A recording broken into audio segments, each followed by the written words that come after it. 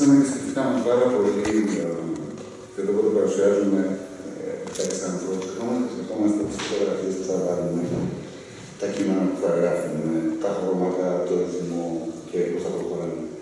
Μας είχε εντυπωσιάσει πάρα πολύ αυτή η εικόνα. Ε, είναι αυτό που νομίζουμε ότι κάνουμε. Έχετε ένα άνθρωπο από τα δεξιά, μπορείτε να καταλάβετε τι πάθει ότι είναι αυτός που πάθει και ερχόμαστε εμείς μια ολόκληρη μια ομάδα ανθρώπων, όπου στον αυτό κανεί είμαστε και στεφανόμαστε, ότι υπάρχουν και άλλοι ζώσει μα, και αγκαλιάζουμε αυτόν τον άνθρωπο, αγκαλιάζουμε το χέρι του. Και μας άρεσε πάρα πολύ που στο χέρι του φαίνεται ανάμεσα στον αντίχειρα και στο δίχτυ ένα μικρό του χαμόγελο, το οποίο είναι αυτό που θέλουμε τελικά να έχουμε. Ένα πάσχοντα, ο οποίος τελικά χαμογελάει.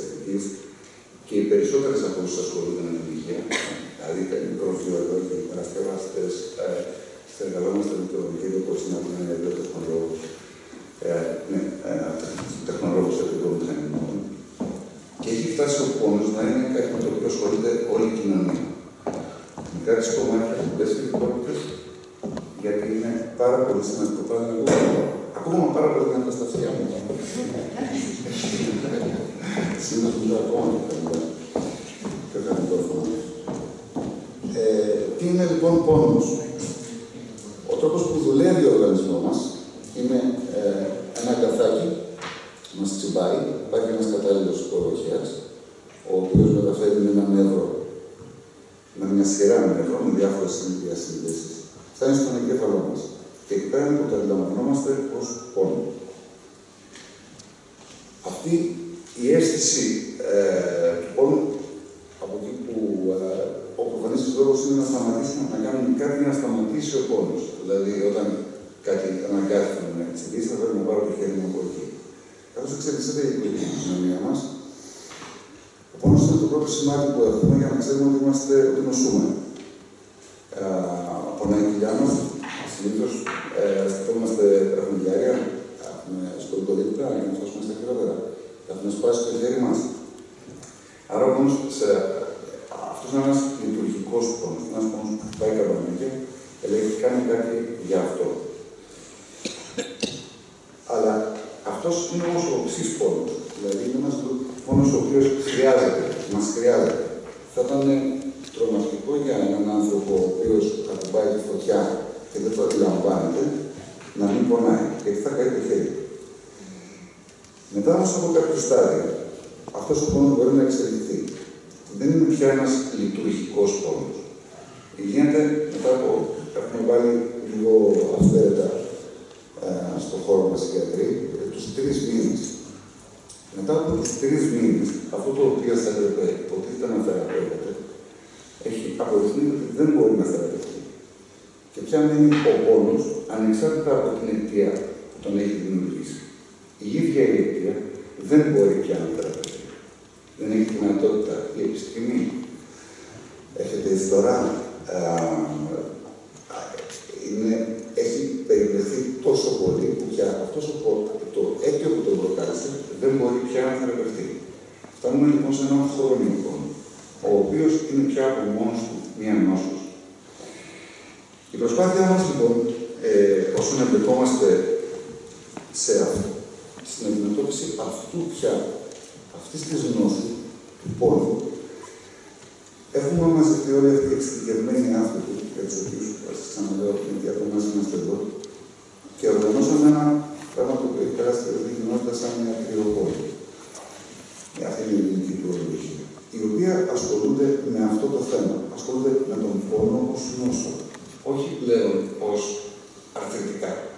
Δηλαδή, αυτός που έχει μια αρθρίτιδα δεν έρχεται σε εμάς για να θεραπευτεί από την αρθρίτιδα. Δεν μπορούμε εμείς να θεραπεύσουμε την αρθρίτιδα. Δηλαδή, μπορεί να θεραπευτεί. Μπορεί να πάρει ένα, δύο, τρία, τέσσερα φάρμακα τα οποία θα το απαντήσουν τα συμπτώματα. Αυτά βέβαια χειροτερεύουν κάποια στιγμή, τώρα να τα μιλήσει και ο κ. Αλλά το πρόβλημα του ανθρώπου και αυτού δεν είναι η αρθρίτιδα, είναι ο πόνος του. Αυτό είναι που μαζευόμαστε ως ιατροί πόνου να αντιμετωπίσουμε καταρχάς. Η στόχη μας είναι αυτό που θα, θα φανταζόσασταν ε, για τη συγκεκριμένη νόσο. Το πρώτο είναι η ανακούφιση από τον πόνο. Ανακούφιση 100%. Μάλλον όχι. Α, ανακούφιση άμεσα. Μάλλον όχι. Ανακούφιση για πάντα. Μάλλον όχι. Αλλά εκείνη την ώρα που έρχεται ένα ασθενή που πονάει, συνήθως βρίσκουμε μια λύση για να σταματήσει να περιοριστεί πολύ ο πόνος του. Για πόσο, ελπίζουμε για όσο γίνεται περισσότερο. Το πώς θα το κάνουμε θα είναι τώρα είναι η επόμενη μηνύτε. Αναπτύσσοντα τον από τον πόνο, αυτό που περιμένουμε είναι ότι η ποιότητα ζωής του, δηλαδή ένας άνθρωπος ο οποίος είναι, περιορίζεται από τον πόνο, γιατί όταν πονάει η μέση του το σου, δεν μπορεί να το πατήσει. Δεν μπορεί να βγει από το σπίτι. Α, δεν μπορεί να κάνει δουλειά στο σπίτι. Χρειάζεται συνεχώς κάτι. Δεν μπορεί να λειτουργήσει με τους φίλους σου, δεν μπορεί να καθεξήγει. Όλη αυτή η δραστηριότητα που είναι συνδυασμένη με την κινητικότητα, πρακτικά είναι τόσο περιορισμένη, οπότε αν καταφέρουμε να την βελτιώσουμε ικανοποιητικά, και το κάθε ικανοποιητικά είναι κάθε φορά ένα διαφορετικό στάδιο, ένα διαφορετικό επίπεδο, θεωρούμε ότι έτσι βελτιώνεται η ποιότητα της ζωής του καθένα ο οποίος πάσχει και αντιμετωπίζει τα χρόνια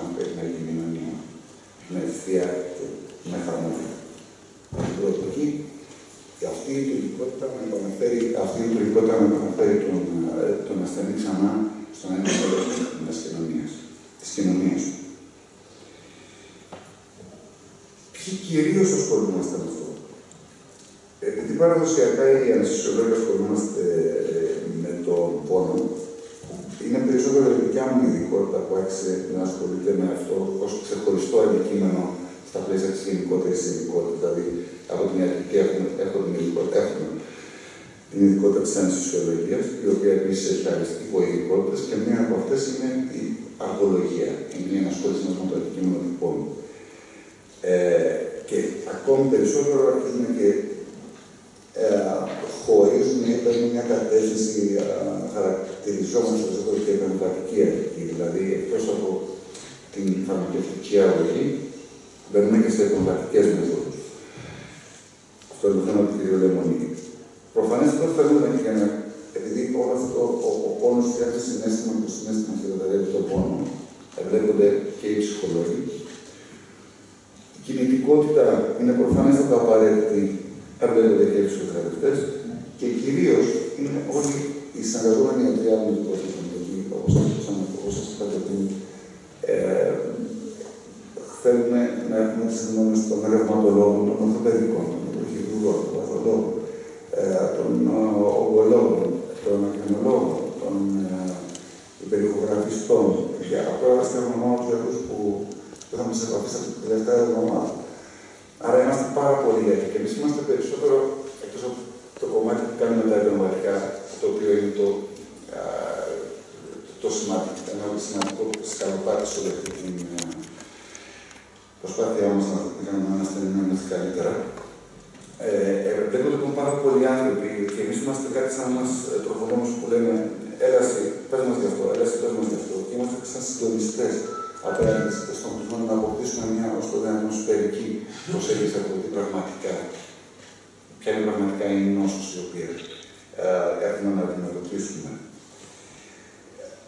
Από εδώ και πέρα, αυτό, αυτό, είναι, το, αυτό είναι η γενικότερη φιλοσοφία μας. Θα σας πάρω διάρκεια σε κάποιους λίγο πιο τεχνικούς όρους όσον αφορά την δουλειά μας, το αντικείμενό μας.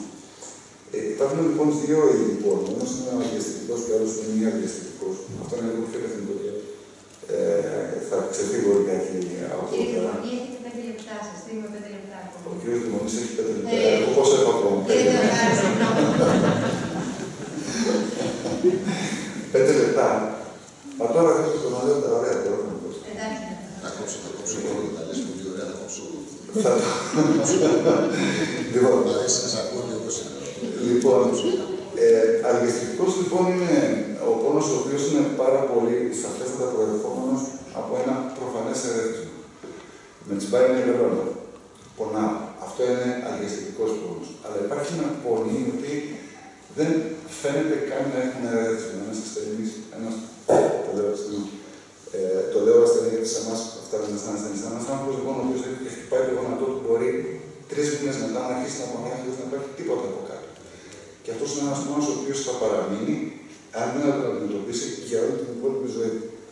Αυτός είναι ένας μη αργιστικό πόνο. Έχει να κάνει δηλαδή στην πραγματικότητα με το. Ε, δηλαδή αυτός ο διαχωρισμός που αφορά το αν πραγματικά υπάρχει κάποιο κείμενο ερέθισμα που να το προκαλεί ή αν είναι ένας ολόκληρος άλλος μηχανισμός ο οποίος περιγράφεται σε περίπου από βιβλία κλασικά από το πάτωμα μέχρι εδώ, από τα κλασικά βιβλία, όχι τα περιοδικά και η έρευνα που έχει γίνει. Ο αδιαστητικό λοιπόν πόνος είναι πάλι χωρίζεται σε δύο κομμάτια. Το ένα είναι ο σωματικός πόνος, που είναι αυτό που δεν φανταστήσαμε όλο το σώμα, και ο πλαστικό πόνος, που είναι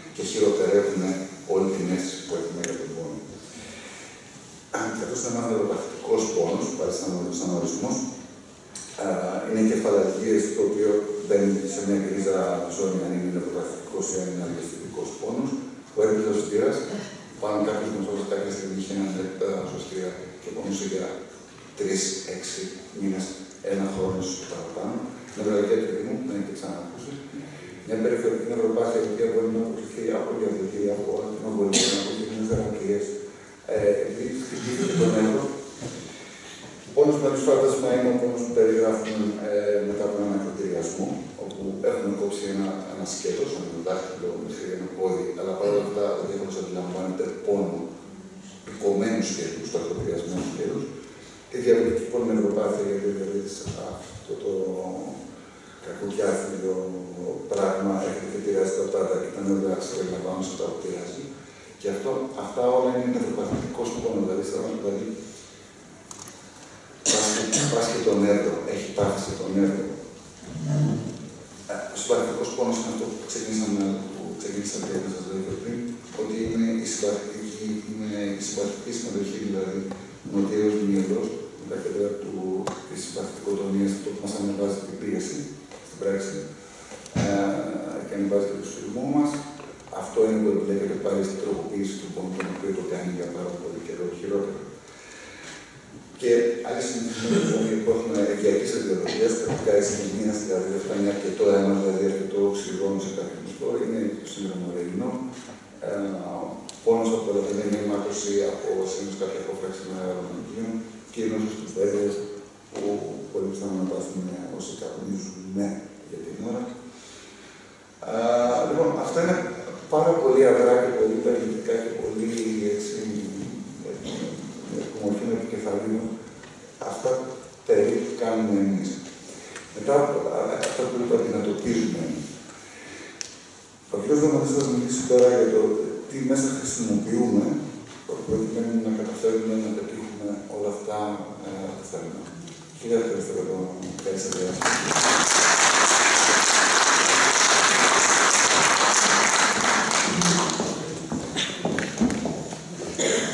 Ευχαριστούμε πολύ τον κύριο Ζευγάρη και όχι τον κύριο Λεμονή. Παρακαλώ τον κύριο Αργύρη Λεμονή να συνεχίσει. Θα μας παρουσιάσει πώς με συγκεκριμένες νεότερες επεμβατικές θεραπείες και φαρμακευτική αγωγή οι εξειδικευμένοι ιατροί πετυχαίνουν την ανακούφιση του ασθενούς από τον χρόνιο πόνο και την γρήγορη επαναφορά στις καθημερινές δραστηριότητές του.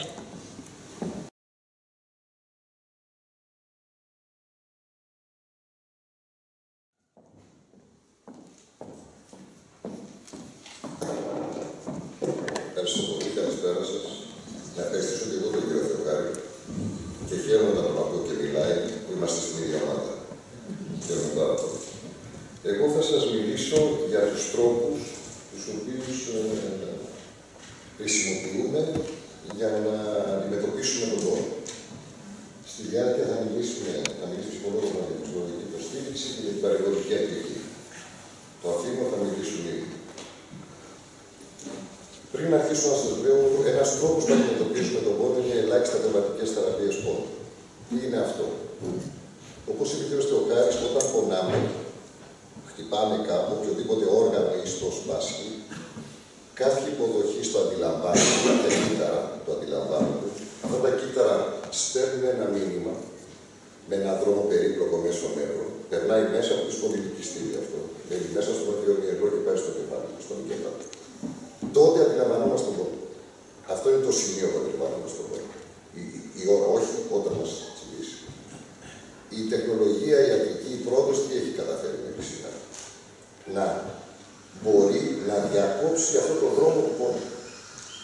Σε κάποιο σημείο, σε κάποιο σημείο της διαδρομής του θα επέμβουμε εμείς με τους τρόπους του περίπου θα προσπαθήσω να σας δώσω να καταλάβετε και έτσι κόβουμε το ερέθισμα του πόνου στον εγκέφαλο. Και έτσι, άσχετα αν υπάρχει το ερέθισμα, υπάρχει βλάβη, ο εγκέφαλος μας δεν το αντιλαμβάνεται.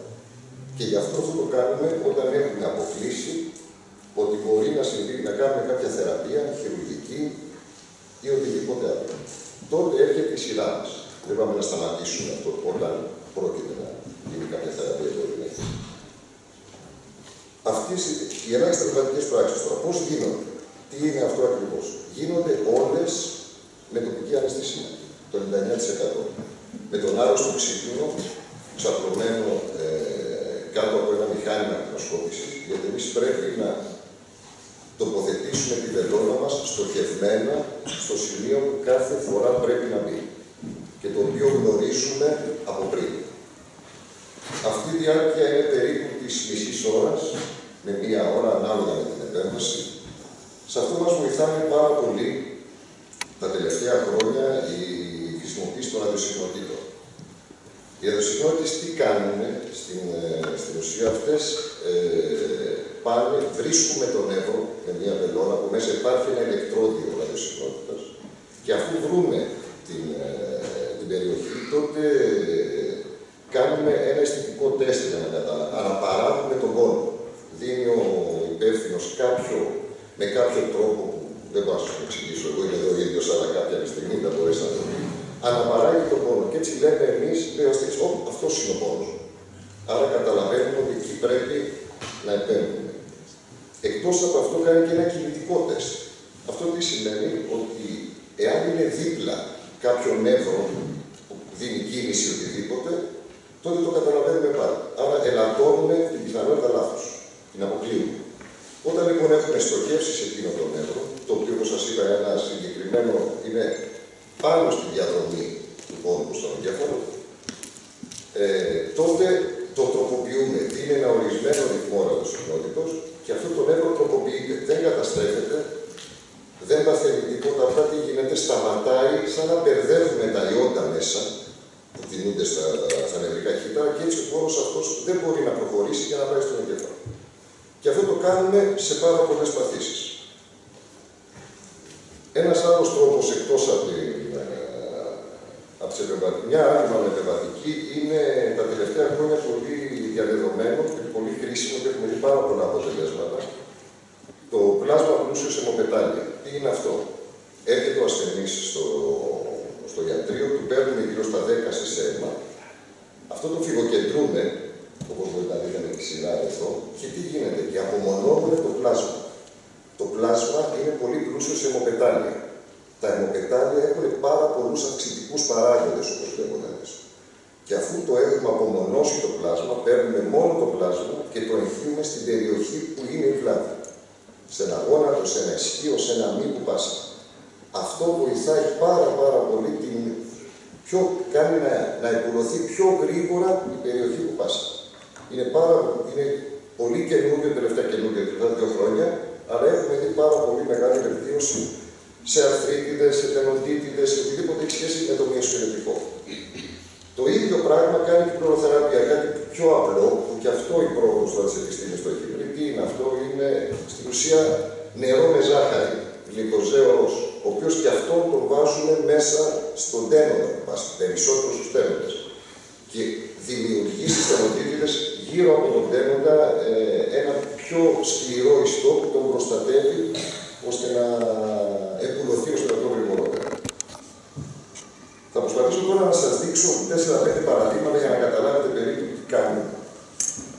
Ένα πρόβλημα που έχουν πάρα πολλοί, ειδικά ηλικιωμένοι μετά από την ηλικία των 50-55 χρονών, αλλά και πολλοί κόσμος, είναι η σπονδυλοαρθρίτιδα, έχετε ακούσει. Η σπονδυλοαρθρίτιδα είναι ο πόνος στη μέση, που δεν οφείλεται όμως στο δίσκο, σε πρόβλημα του δίσκου, αλλά οφείλεται σε πρόβλημα των αρθρώσεων της σπονδυλικής στήριξη. Οι αρθρώσεις είναι αυτές που, όπως η σπονδυλή μας, ενώνονται μεταξύ τους αρθρώσεων. Είναι ένας αφόρητο πόνος, πάσχει πάρα πολλούς κόσμους και δεν μπορεί να βρει λύση, ειδικά οι ηλικιωμένοι. Τι κάνουμε λοιπόν εδώ, πάρα πολύ απλά αυτές οι αρθρώσεις, που είναι αυτές εδώ οι μικρέ αρθρώσει, νευρώνονται από κάποια συγκεκριμένα μικρά νεύρα. Εμείς λοιπόν τα βρίσκουμε αυτά τα νεύρα με ακτινοσκόπηση Όπως θα δείτε εδώ, είναι στο δική μας που το βλέπουμε για αυτές τι πελώνε. Αν μπορείτε να δείτε. Βρίσκουμε αυτά τα νευράκια και τα τροποποιούμε. Τους αλλάζουμε αυτό που σας είπα τη δομή.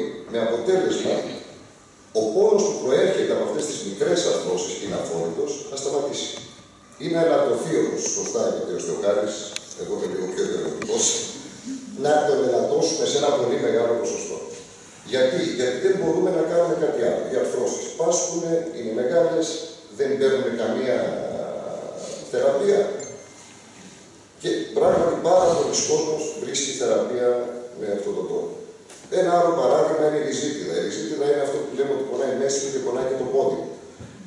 Εκεί πάμε πάλι στο σημείο που υπάρχει το πρόβλημα, υπάρχει ένα τρίμα που περνάει μέσα από τον νεύρο, μια τρύπα που περνάει τον νεύρο και εκεί πολλές φορές δημιουργούνται συνθήσεις ιστός το οποίο το πιέζει. Πάλι ο άνθρωπος πρέπει να χειρουργηθεί ώστε να πάνε χειρουργικά να ανοίξουν το τρίμα. Κάποιες φορές γίνεται. Αλλά όταν είναι μεγάλη ηλικία, όταν έχουμε προβλήματα υγείας, δεν γίνεται.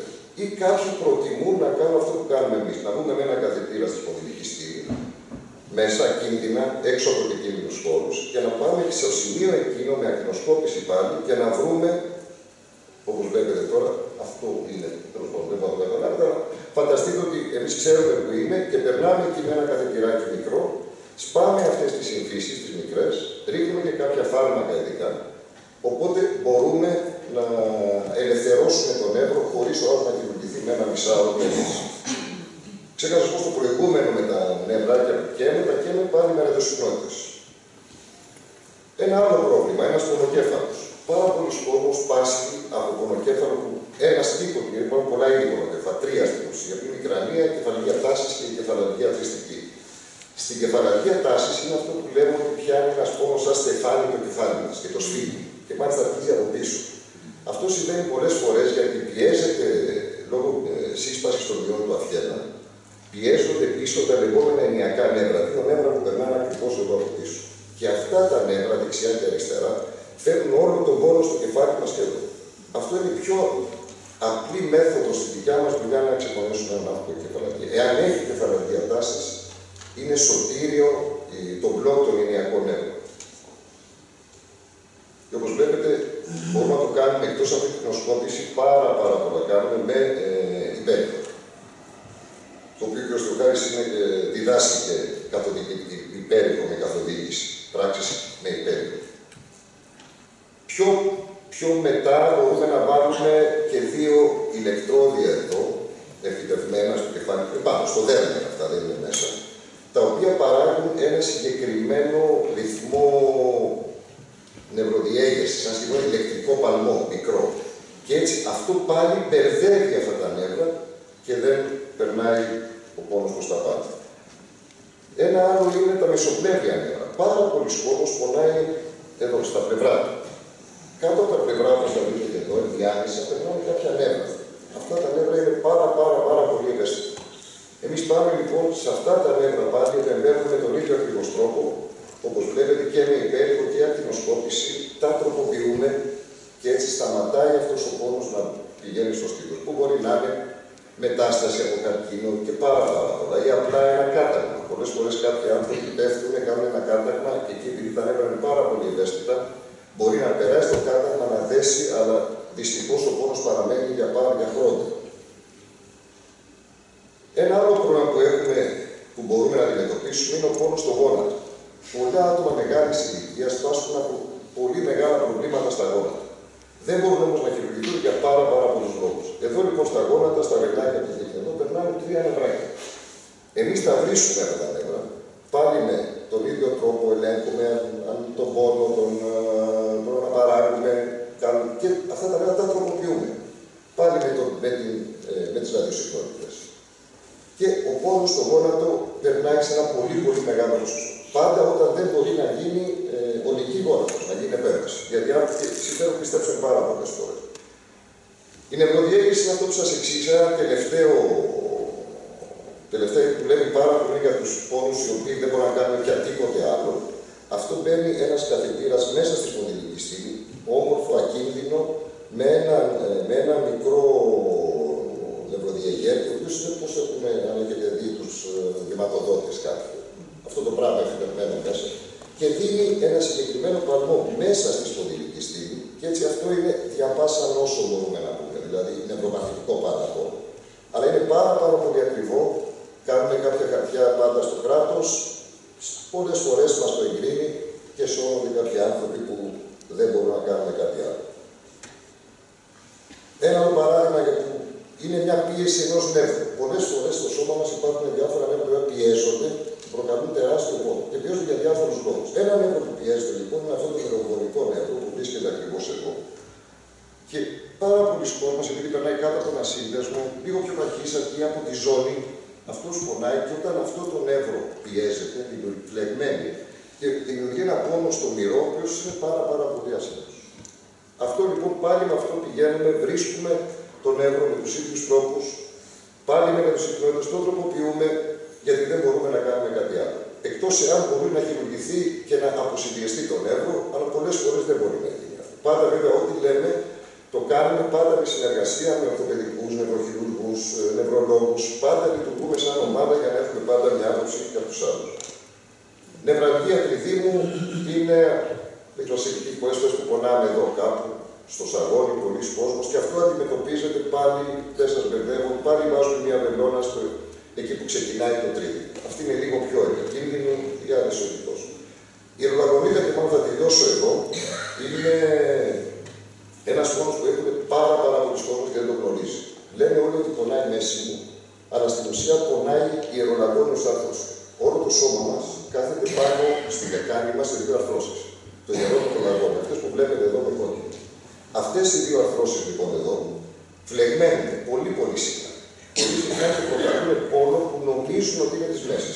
Πάλι με τον ίδιο τρόπο πηγαίνουμε εδώ, ρίχνουμε καταρχήν κορτιζόνη και ελαφρύνουμε τον πόνο, ελαφρύνουμε τον πόνο κατά πολύ. Αλλά μπορεί να πάμε να κάνουμε και ραδιοσυχνότητε και να κάψουμε τα μικρά μικρά νευράκια που πνευμώνουν και να εισηκάσει ο άνθρωπος πάλι σε ένα πολύ μεγάλο ποσοστό για ένα μεγάλο χρονικό διάστημα. Εδώ βλέπετε για παράδειγμα πώς είναι οι βελόνε οι οποίες μπαίνουν επιφανειακά μέσα, δεν τις καταλαβαίνουμε το τι αναισθησία είναι. Και εδώ τι βλέπουμε εμείς. Τώρα ερχόμαστε σε κάτι πιο έτσι εξειδικευμένο στον καρκίνο παγκρέατος. Ο καρκίνος παγκρέατος είναι ο καρκίνος που πονάει περισσότερο από όλους. Εδώ τι κάνουμε στον καρκίνο παγκρέατος. Συγγνώμη, τώρα σας λέω πράγματα τα οποία είναι δυσάρεστα. Το πάγκρεας όταν πονάει, ο πόνος φεύγει, πηγαίνει μέσα στη σπονδυλική στήλη, ανεβαίνει στον εγκέφαλο. Εμείς πάμε λοιπόν στη σπονδυλική στήλη, σε αυτά τα σημεία εδώ που βλέπετε, απ' έξω, πάλι με τοπική αναισθησία και καίμε αυτά τα νεύρα που τον μεταφέρουν στον εγκέφαλο. Και έτσι καταφέρνουμε αυτός ο άνθρωπος που δυστυχώς δεν έχουν μεγάλη επιβίωση να μην πονάει έστω τις τελευταίες του μέρες. Και το ίδιο πράγμα κάνουμε και στο γάγγλιο του ύπαρ. Είναι ένα γάγγλιο το οποίο και αυτό είναι στα, στον κόκκιγα πίσω-πίσω για όσους πονάνε, στην πίελο, στα γεννητικά όργανα, στο προκτό. Πάλι κάνουμε το ίδιο πράγμα και και αυτό με ένα δοσυχνότηση υπό καθοδήγηση και σταματάμε τη μεταφορά του ερεθίσματος προς τον εγκέφαλο. Αυτά είναι μερικά που διάλεξα να σας πω για, τα, για αυτά που κάνουμε. Ευχαριστώ πάρα πολύ.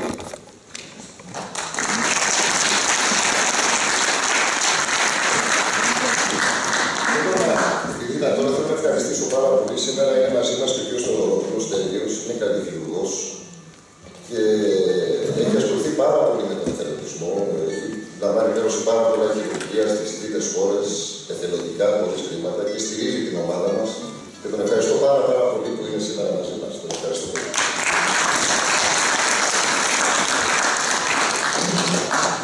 Ευχαριστούμε τον κύριο Λεμονή και παρακαλώ τον γιατρό κυρία Χρυσούλα Καραναστάση να συνεχίσει. Θα μας μιλήσει για τη συμβολή της παρηγορικής φροντίδας στην ανακούφιση του χρόνιου χώρου των καρκινοπαθών και των ασθενών που πάσχουν από νοσήματα πτωχής πρόγνωσης, όπως και των συνοδών βασανιστικών συμπτωμάτων.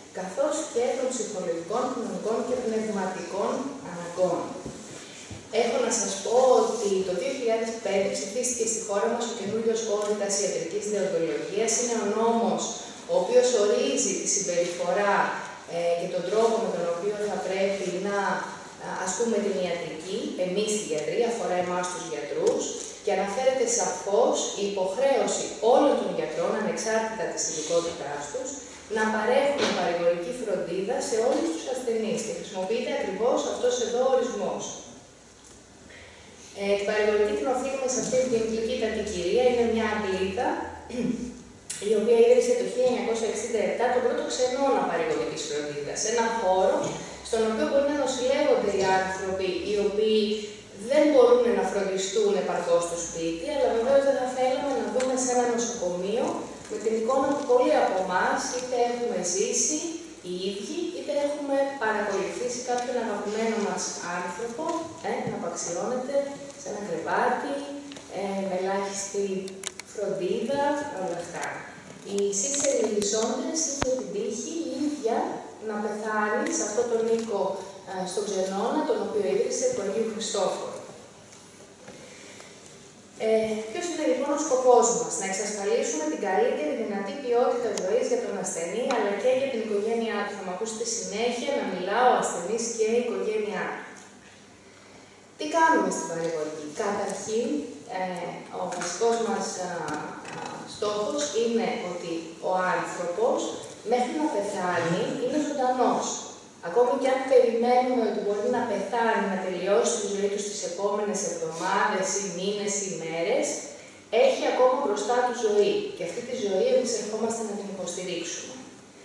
Παρ' όλα αυτά, ο θάνατος είναι μια φυσιολογική διαδικασία. Είναι αυτό που έρχεται να κλείσει τον κύκλο που αρχίζει με τη γέννηση. Χωρίς τη γέννηση και το θάνατο, δεν θα οριζόταν διαφορετικά η ζωή. Είναι αυτό που βρίσκεται ανάμεσα στα δύο άκρα. Ε, το τέλος της ζωής δεν το αναβάλει η παρηγορική φροντίδα, δεν το επιταχύνει όμως. Γιατί πολύ συχνά μας ρωτάνε αν είμαστε υπέρ της ευθανασίας και η απάντηση είναι κατηγορηματικά όχι. Ένας ασθενής ο οποίος λαμβάνει επαρκή και ικανοποιητική παρηγορική φροντίδα, ποτέ δεν ζητάει και καταφεύγει στη λύση της ευθανασίας. Αντιμετωπίζουμε όχι μόνο τον πόνο, αλλά και όλα τα υπόλοιπα συμπτώματα από τα οποία μπορεί να πάσει ένας ασθενής. Προσπαθούμε να υποστηρίξουμε τις καθημερινές του δραστηριότητες μέχρι το τέλος, από τις πιο σημαντικές, όπως ένα χόμπι, τον κήπο του, ε, το τραγούδι του, τη συμμετοχή του στη χοροδία, έως τις πιο συνηθισμένες, όπως είναι το να καθίσεις στο τραπέζι και να φάει με την οικογένειά του. Και υποστηρίζουμε την οικογένεια σε όλη την πορεία της νόσου, αλλά και κατά την περίοδο του πένθους. Ποιοι μπορεί να παρέχουν παρηγορική φροντίδα; Όπως σας είπα και στην αρχή, η φροντίδα αυτή είναι ευθύνη όλων μας, όχι μόνο των γιατρών, αλλά όλων των ανθρώπων. Κάθε γιατρός έχει ιδιαίτερη ευθύνη να αναγνωρίζει και να μπορεί να κατευθύνει τους ασθενείς του, ούτως ώστε να λάβουν οι ίδιοι οι συγγενείς τους που ενδεχομένως το χρειάζονται αποτελεσματική παρηγορική φροντίδα. Αυτό γίνεται από μια ομάδα, όπως ακούσατε νωρίτερα και από τον κύριο Θεοχάρη και τον κύριο Λεμονή, στην οποία εκτός από τους γιατρούς, που εντάξει τους βάζουμε πάνω-πάνω γιατί γιατροί είμαστε, στο κέντρο βλέπετε μαζί το δίδυμο ασθενής οικογένεια, αλλά χρειαζόμαστε γύρω μας πάρα πολλούς ανθρώπους για να μπορέσουν να δουλέψουν σωστά. Χρειαζόμαστε νοσηλευτές, ψυχολόγους, φυσιοθεραπευτές, εργοθεραπευτές, μουσικοθεραπευτές, κοινωνικούς λειτουργούς. Η λίστα είναι ατελείωτη και βέβαια, ε, ειδικά στο εξωτερικό, δίνεται πάρα πολύ μεγάλη βαρύτητα στην πνευματική καθοδήγηση. Οι άνθρωποι πάρα πολύ συχνά, ειδικά όταν νοσούν, στρέφονται προς το θρησκευτικό τους κομμάτι. Και είναι σημαντικό να μπορούμε να συνεργαστούμε ακόμα και με το πνευματικό, τον οποίο επιθυμεί ο ασθενής να έχει δίπλα.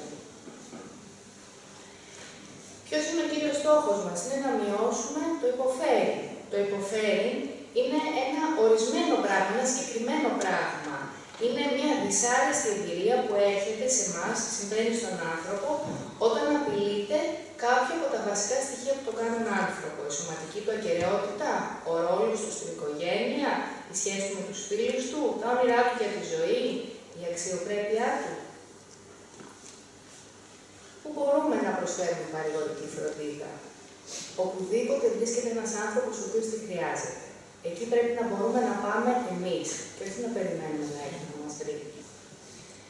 Μπορεί να είναι στο σπίτι του, μπορεί να είναι στους ξενώνες που σας είπα νωρίτερα ότι ε, λειτουργούν κυρίως στο εξωτερικό, σε ένα χώρο ημερήσιας νοσηλείας, στο νοσοκομείο, είτε στα εξωτερικά ιατρία, είτε σε θαλάμους νοσηλείας, αλλά και σε πιο εξειδικευμένους χώρους, όπως είναι τα κέντρα παρηγορικής ε, φροντίδας, νοσοκομιακές μονάδες, δεν τις έχουμε ακόμα στη χώρα μας, αλλά προσπαθούμε. Τι εννοούμε όταν μιλάμε για ποιότητα ζωής. Η ποιότητα ζωής είναι το συνολικό επίπεδο ικανοποίησης ενός ανθρώπου για τη ζωή του. Σε κάθε, σε κάθε χρονική φάση της ζωής του. Και είναι διαφορετικό για τον καθένα μας. Έχει να κάνει με το τι αντιλαμβανόμαστε εμείς ο καθένας ως μοναδική προσωπικότητα σαν σημαντικό, αλλά και τι προσδοκίες έχουμε για τη ζωή μας. Και βεβαίως επηρεάζεται από πάρα πολλέ παραμέτρους. Μερικές από αυτές. Τα συμπτώματα της νόσου. Ε, τα καθαρά ιατρικά πράγματα. Η λειτουργική ικανότητα. Μπορώ να φροντίσω τον εαυτό μου να ντυθώ, να ετοιμάσω το φαγητό μου, να πάω στην τουαλέτα, να φορέσω τα ρούχα μου. Η συναισθηματική ισορροπία. Είμαι καλά σήμερα, είναι μια ωραία μέρα. Ή αισθάνομαι μόνος. Δεν θέλω να επιβαρύνω τους άλλους με τα προβλήματά μου. Ε, ικανότητα προσεργασία, πάρα πολύ σημαντικό. Όταν οι άνθρωποι δεν εργάζονται, δεν αισθάνονται παραγωγικοί. Η φροντίδα του σπιτιού, του νοικοκυριού, η συμμετοχή στην οικογένεια, η οι φίλοι μας, η βόλτα στο καφενείο, τα σχέδια και τα όνειρα που κάνουμε για το μέλλον, όταν πάρω συνέντευξη θέλω να πάω αυτό το ταξίδι ή θα ήθελα να πάω να δω αυτό το θέατρο. Ικανοποίηση από τη φροντίδα που παίρνουμε, όχι μόνο από την οικογένειά μας, αλλά και από το ιατρικό περιβάλλον, από τα νοσοκομεία, τα ταμεία, τα οποία τα έχουμε πληρώσει μια ζωή και έχει και ώρα να τα χρειαστούμε και μας προδίδουν. Τι συμπτώματα προσπαθούμε, ε, πού στοχεύουμε σαν γιατροί να ανακουφίσουμε έναν άρρωστο; Δεν είναι μόνο τα συμπτώματα από την κύρια νόσο, που μπορεί να είναι ο καρκίνος, αλλά μπορεί να είναι και άλλα, άλλες παθήσεις. Μπορεί να είναι μια νόσος του Πάρκινσον, το AIDS, καρδιακή ανεπάρκεια, αναπνευστική ανεπάρκεια. Συνοδά νοσήματα. Ένας άνθρωπος ο οποίος έχει καρκίνο και το κύριο του πρόβλημα είναι αυτό, μπορεί ταυτόχρονα να έχει καρδιακή ανεπάρκεια ή μπορεί ταυτόχρονα να πάσει από διαβήτη. Από τη θεραπεία.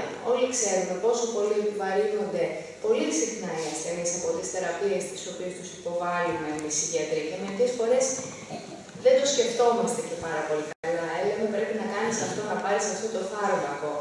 Αλλά πόσοι από εμάς ε, έχουμε καταπιεί τα φάρμακα που κάθε μέρα στεγογραφούμε στου ασθενείς μας, να δούμε τι γεύση έχουν, πώς θα κάνουν τη δουλειά μας να αισθάνεται μετά. Συμπτώματα της νόσου που αντιμετωπίζουμε στην παρηγορική. Ο πόνος με κεφαλαία γράμματα βεβαίως. Αν ένας άνθρωπος πονάει, δεν μπορείς να μιλήσεις μαζί του για τίποτε άλλο. Πρέπει να φύγει ο πόνος, ο οποίος τον δυναστεύει, ε, το σταματάει να είναι αυτό που είναι, να φύγει ο πόνος πρώτα απ' όλα και μετά να αρχίσουμε να συζητάμε για όλα τα υπόλοιπα. Τι μπορεί να έχει ένας άρρωστος, ο οποίος οδεύει προς το τέλος της ζωής του. Μπορεί να έχει δύσπνοια. Μπορεί να έχει ρόμφο, ο οποίος δεν εμφανίζεται μόνο τις τελευταίες ώρες της ζωής. Μπορεί να υποφέρει από διαταραχές σε σχέση με τις επισκέψεις του στην τουαλέτα. Ξηροστομία, πάρα πολύ συνηθισμένη παρενέργεια των φαρμάκων. Ναυτία, έμετος, ανορεξία, αφυδάτωση, παραλήρημα. Ακούμε από την οικογένεια να λέει δεν είναι πια ο εαυτός του. Κατακλήσεις. Πάρα πολύ καιρό στο κρεβάτι, αρχίζουν και ανοίγουν οι άνθρωποι. Και όλο αυτό είναι μια τεράστια ιστορία. Βήχας, επίμονος βήχας που δεν ανακουφίζεται. Ή λόξιγας που δεν ανακουφίζεται. Αϊπνία, γυρίζει σαν το φάντασμα. Ή κοιμάται όλη μέρα και το βράδυ δεν μπορεί να ξεκουραστεί. Και βεβαίω δεν έχουν και τους άλλους γύρω του να ξεκουραστούν. Στον νόμο που σας είπα προηγουμένως που ψηφίστηκε το 2005, αναγνωρίζονται σαφώς τα δικαιώματα που έχουν οι ασθενείς απέναντί μας. Έχουμε φύγει πια από το πατερναλιστικό, όπως λέγαμε, μοντέλο, που ο γιατρός έχει πάντα δίκιο και δίνει εντολές, τις οποίες ο ασθενή οφείλει να ακολουθεί, και αν δεν τις ακολουθεί, είναι κακό παιδί και φταίει αυτός που υποφέρει. Ο ασθενής μας έχει δικαίωμα να αρνηθεί να μπει στο νοσοκομείο. Έχει δικαίωμα να αρνηθεί να του κάνουμε εξετάσεις.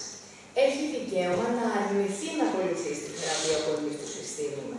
Αυτά τα δικαιώματα οφείλουμε να τα σεβαστούμε και να κάτσουμε κάτω και να συζητήσουμε μαζί με τον άρρωστό μας τι θα ήθελε, πώς σκέφτεται αυτός, τι είναι σημαντικό για εκείνο. Πάντα υπάρχουν εναλλακτικέ.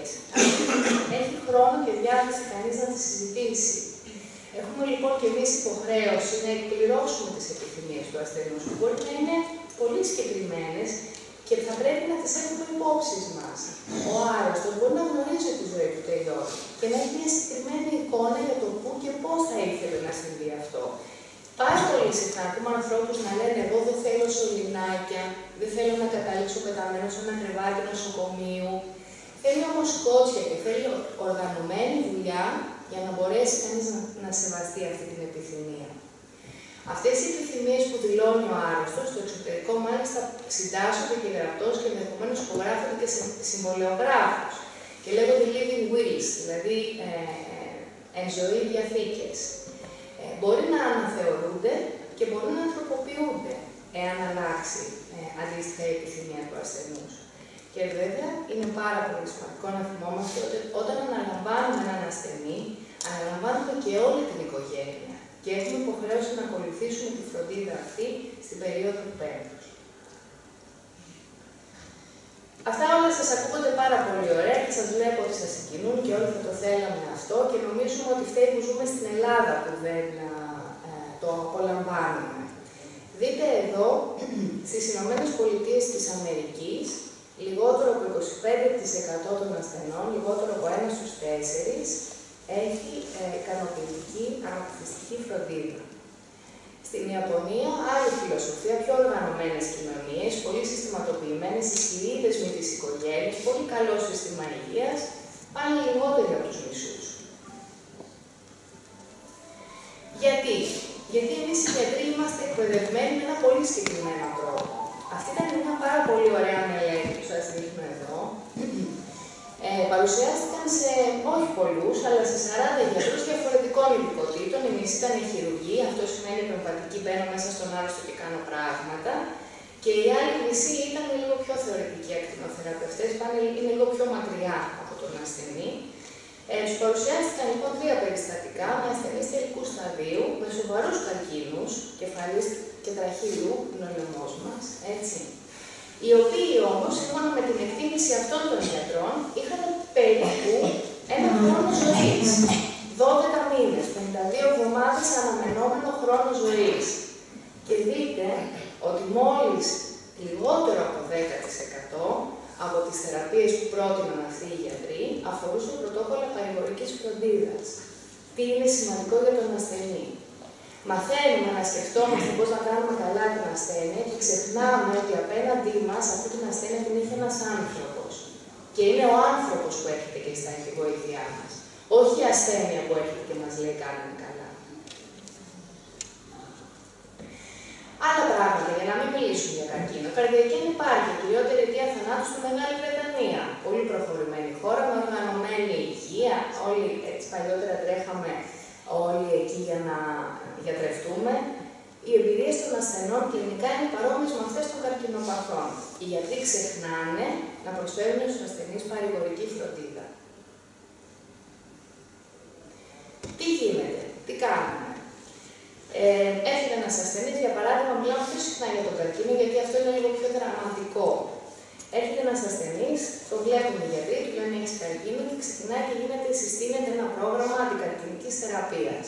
Γίνονται διάφορα πράγματα, χημειοθεραπείε, ακτινοθεραπείε, χειρουργία, ξανά μανά, μετάσταση, υποτροπή. Και τελικά έρχεται κάποια στιγμή που η νόσος, ας πούμε ότι παίρνει το πάνω χέρι. Ε, τότε έρχονται οι ογκολόγοι και λένε εσύ είσαι για παρηγορική. Έχετε δηλαδή ε, η παρηγορική φροντίδα να φροντίσει τον άρρωστο να του κρατήσει το χεράκι τις τελευταίες μέρες, όταν πια δεν μπορεί να γίνει τίποτε άλλο. Εμείς θα θέλαμε να γνωρίζουμε τον άρρωστο μας τη στιγμή που μπαίνει διάγνωση. Με το που ανακοινώνεται σε κάποιον ότι ξέρεις κάτι, έχεις καρκίνο. Είναι ένα σοβαρό νόσημα, αλλά έχουμε πολλά πράγματα να κάνουμε μπροστά μας. Να γνωρίσουμε τον ασθενή, να μας γνωρίσει και αυτός από την αρχή, να μας γνωρίσει η οικογένειά του, να τον ακολουθήσουμε βήμα-βήμα. Και όσο λιγοστεύουν οι δυνατότητες της κλασικής ιατρικής, τόσο να μπαίνει μέσα η παρηγορική και να αντιμετωπίζει τα διάφορα θέματα που τον κάνουν να χάνει την επιθυμία του τελικά για να ζήσει. Θα θέλαμε να μπορούμε να κάνουμε αυτό για τους παρόντες μας. Ε; Γιατί δεν γίνονται όλα αυτά που ακούγονται τόσο πολύ ωραία; Γιατί υπάρχει άνηση κατανομή των πόρων και αυτό θέμα με τα χρήματα. Δαπανώνται τεράστια χρήματα, τεράστια ποσά σε όλο τον κόσμο, στην έρευνα για τον καρκίνο, σε φάρμακα, χημειοθεραπείε, αλλά πολύ λίγα ε, διατίθεται για να οργανώσουμε δομές παρηγορική φροντίδας. Και αυτό γιατί, όπως σας είπα και νωρίτερα, ούτε οι γιατροί είμαστε εκπαιδευμένοι, αλλά βεβαίως και ο κόσμος δεν γνωρίζει ότι έχει το δικαίωμα σε αυτή την ιατρική προσέγγιση να αναγνωρισμένη ειδικότητα της ιατρικής και μπορεί να την αναζητήσει. Ποιοι μπορούν να βοηθήσουν στην παροχή παρηγορική φροντίδας, η Εκκλησία. Το κάνει. Πάρα πολύ συχνά ακούμε για το έργο της Εκκλησίας. Δεν είναι όλοι οι ίδιοι, αλλά δεν είναι και όλοι στραβοί. Οι Δήμοι και οι κοινότητες. Η κατοίκον νοσηλεία αυτή τη στιγμή παρέχεται μόνο από τους Δήμους, ενώ είναι θεσμοθετημένη, ενώ υπάρχει στο σχέδιο δράσης κατά του καρκίνου. Από το 2001 μιλάνε κυβερνήσεις για κατοίκον νοσηλεία, μόνο ό,τι βλέπουμε σε μερικούς Δήμους γίνεται στην πράξη. Οι εθελοντές είναι πάρα πολλοί άνθρωποι που λένε: Εγώ θέλω να έρθω να βοηθήσω.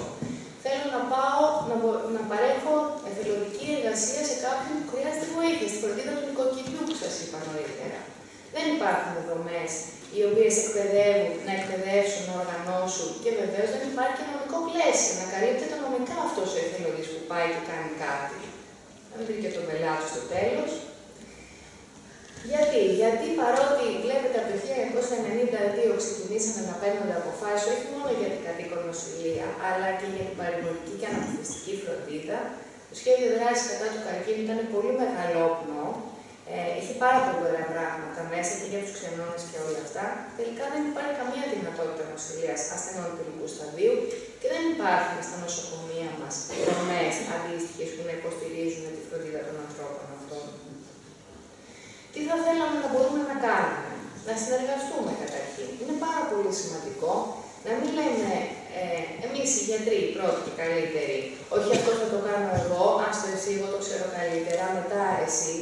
Ε, θα, θα ήταν πολύ πιο ωραίο να ερχόμαστε και να λέμε ας δουλέψουμε σαν ομάδα, γιατί ο στόχος μας είναι να είναι καλύτερα ο ασθενή. Μπορεί να μπορούμε να το κάνουμε καλά, αλλά μπορούμε να το κάνουμε καλύτερα. Διαθεσιμότητα, να υπάρχουν υπηρεσίες παντού. Οπουδήποτε και αν βρίσκεται. Αυτό που σας είπα νωρίτερα, εκεί που είναι ο ασθενής μας. Σχεδιασμός. Να προγραμματίζουμε εκ των προτέρων τι μπορεί να χρειαστεί ένας άνθρωπος, ο οποίος ξέρουμε ότι αργά ή γρήγορα θα χάσει για παράδειγμα την αυτονομία του.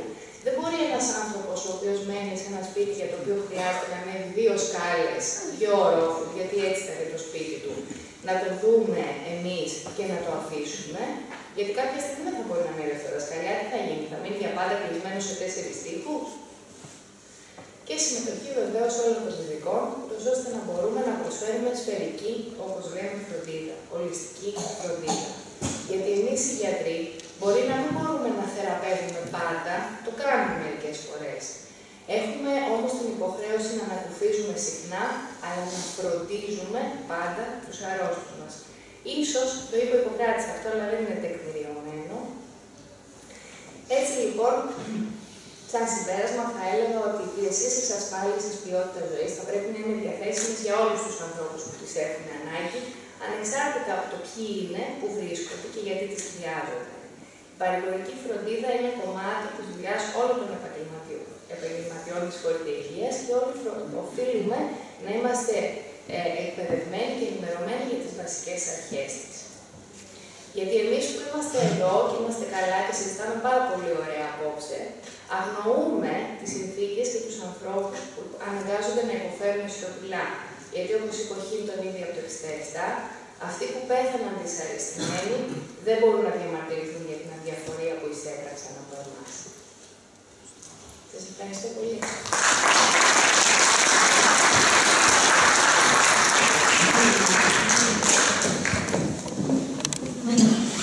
Ευχαριστούμε πολύ την κυρία Καραναστάση και θέλω να καλέσω την κυρία Αναστασία Λεμονή, που είναι ψυχολόγος, ε, η οποία θα κλείσει και τον κύκλο των, ε, των ομιλιών όλων των ιατρών. Η κυρία λοιπόν Λεμονή θα μας εξηγήσει ότι ο πόνος είναι μια υποκειμενική αίσθηση και επηρεάζεται άμεσα από την ψυχολογική κατάσταση του ασθενούς που τη βιώνει. Θα μας παρουσιάσει πώς κατευθύνει τον ασθενή να ελέγξει, να αναθεωρήσει και να επαναπροσδιορίσει τις σκέψεις του με στόχο την ελάττωση των επόμενων συμπτωμάτων του πόνου. Θα ήθελα να σας πω ότι μόλις τελειώσει η κυρία Λεμονή την ομιλία της, θα μπορείτε όλοι να απευθύνετε στους ιατρούς ερωτήσεις. Οπότε σκεφτείτε τι θέλετε να πείτε, τελειώνοντας να το έχουμε δύο μικρόφωνα και θα μπορείτε να πείτε.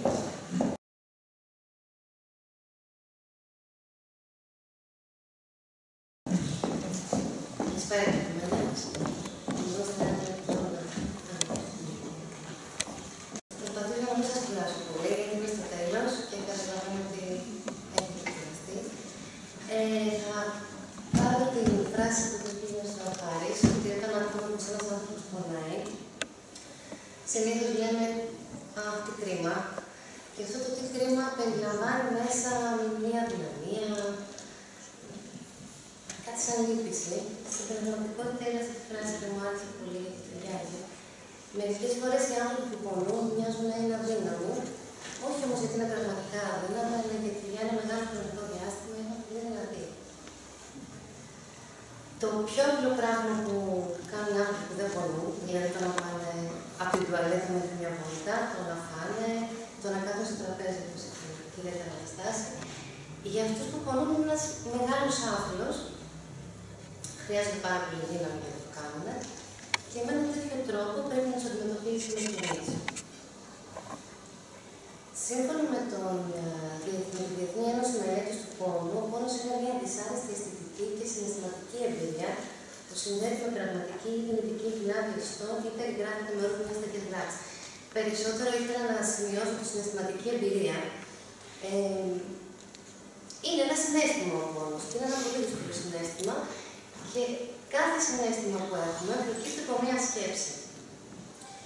Ε, τα πέντε συναισθήματα που επιδεινώνουν τον πόνο είναι αυτά που βλέπετε και εσείς, ο φόβος, η ενοχή, ο θυμός, η εσωστρέφεια, η μοναχικότητα και το αίσθημα βοήθειου.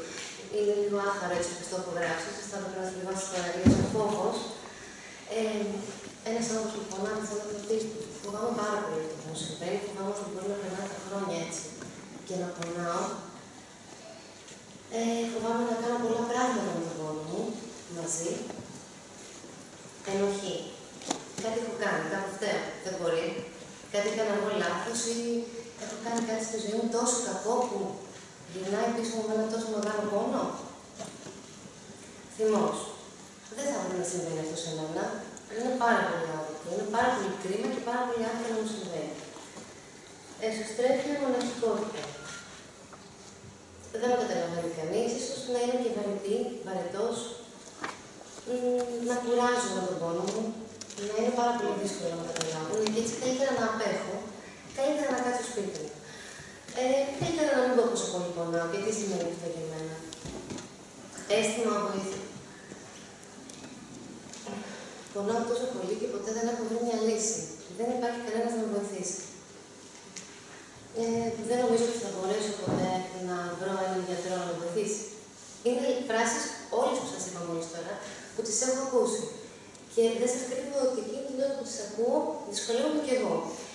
Ε, αλλά το ξεκινάμε μαζί από το μηδέν, να δούμε τελικά όλα αυτά τα συναισθήματα που προκύπτουν. Και εδώ θα μιλήσω ότι όλα τα συναισθήματα προκύπτουν από τη σκέψη. Η δική μου κατεύθυνση λέγεται γνωσιακή συμπεριφοριστική θεραπεία. Είναι λίγο δύσκολος και άχρηστο πάλι τίτλος, αλλά εγώ συνήθως στους ανθρώπους που κάνουμε θεραπεία το περιγράφω με τα τρία σίγουρα, με την ίδια σειρά που τα παρουσιάζω. Σκέψη, συνέστημα, συμπεριφορά. Μια πολύ συνηθισμένη σκέψη είναι ότι όταν πονάω δεν είμαι καθόλου καλή παρέα. Φαίνεται στο πρόσωπό μου ότι πονάω, άρα οι άλλοι θέλουν να περάσουν καλά και εγώ δεν έχω καμία δουλειά εδώ. Το συνέστημα είναι ο φόβος απέναντι στον πόνο, δηλαδή μην έρθει τώρα που έχω πάει μια βόλτα ή που έχω πάει στο δωμάτιο του πόνος. Ε, και το άγχος της αποδοχής. Πώς δηλαδή η κοινωνία, η παρέα, η οικογένεια θα μπορέσουν να αποδεχτούν αυτό που μου συμβαίνει. Μήπως είμαι πολύ κρινιάρης με τον πόνο μου, μήπως είμαι υπερβολικός. Και η συμπεριφορά είναι να αποφεύγω δραστηριότητε. Όταν πονάω δεν είμαι καλή παρέα, άρα ας μην σπίτι. Άρα ας μην κάνω Α μην καλέσω έναν άνθρωπο στο σπίτι, ακόμα και αυτό, γιατί δεν είναι δυνατόν όλοι οι άνθρωποι να μπορούν να βγαίνουν έξω. Κάποιοι άνθρωποι που πονάνε πρέπει να μείνουν και μέσα. Είναι δύσκολο κάποιες φορές να κινηθούν. Οπότε παρόλα αυτά δεν καλούμε ούτε τους δικού του ανθρώπου στο σπίτι. Σκέψεις. Δυσλειτουργικές σκέψεις. Δυσλειτουργικές σκέψεις είναι ε, όλες εκείνες οι σκέψεις που μας κάνουν να αντιμετωπίζουμε ακόμα πιο δύσκολα τον πόνο μας. Ε, καταπληκτική διάθεση είναι μια συνέπεια. Όταν το έγραφα αυτό, δεν ε, θεώρησα ότι ήταν πολύ βοηθητικό. Ήταν αυτό που είπε ο κ. Προχάρης, ότι η κατάθλιψη είναι ένας όρος πολύ γενικός που τον λέμε συχνά. Ε, αλλά έχει πολλά παρακλάδια. Δηλαδή, ευελευθιστότητα. Γινόμαστε πάρα πολύ ευσυγκίνητοι όταν πονάμε για ένα μεγάλο χρονικό διάστημα. Δυσκολευόμαστε ε, με τα πιο απλά πράγματα γύρω μας. Ε, ακόμη και μια διαφήμιση στην τηλεόραση, με το βάρος που έχουμε από όλο αυτό που βιώνουμε, όταν πονάμε για μεγάλο χρονικό διάστημα, μπορεί να μας κάνει πολύ δύσκολο να κινητοποιήσει σκέψεις πολύ δύσκολες και τελικά να φτάσουμε σε μια καταπληκτική διάθεση. Διαταραχή στον ύπνο. Αυτό μπορεί να είναι και το πόνο βέβαια, αλλά όταν ξυπνήσει από έναν άλλο πόνο και βρεις έναν τρόπο να απαλύνει αυτό το πόνο σου, μετά πιθανόν οι σκέψει εκείνε να λένε πάλι ξύπνησα πάλι. Είμαι πολύ κουρασμένη, πάλι το πρωί δεν θα μπορέσω να πάω στη δουλειά μου ή πάλι δεν θα μπορέσω να φροντίσω την οικογένειά μου. Δεν νομίζω ότι θα μπορέσω να κοιμηθώ ήρεμα. Άγχος. Νομίζω δεν χρειάζεται ιδιαίτερη ανάλυση. Αγχώνομαστε συνέχεια. Και αυτοί που πονάμε και αυτοί που δεν πονάμε. Όσο μάλλον αυτοί που πονούν. Κακή αυτοεικόνα. Ε,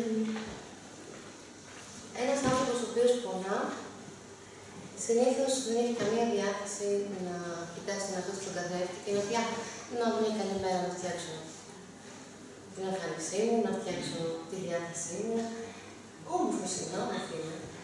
Όχι. Ε, σαν να υπάρχει ένα περίγραμμα, έτσι μου το έχει περιγράψει μια ασθενή, γύρω μου υπάρχει ένα περίγραμμα πόνου.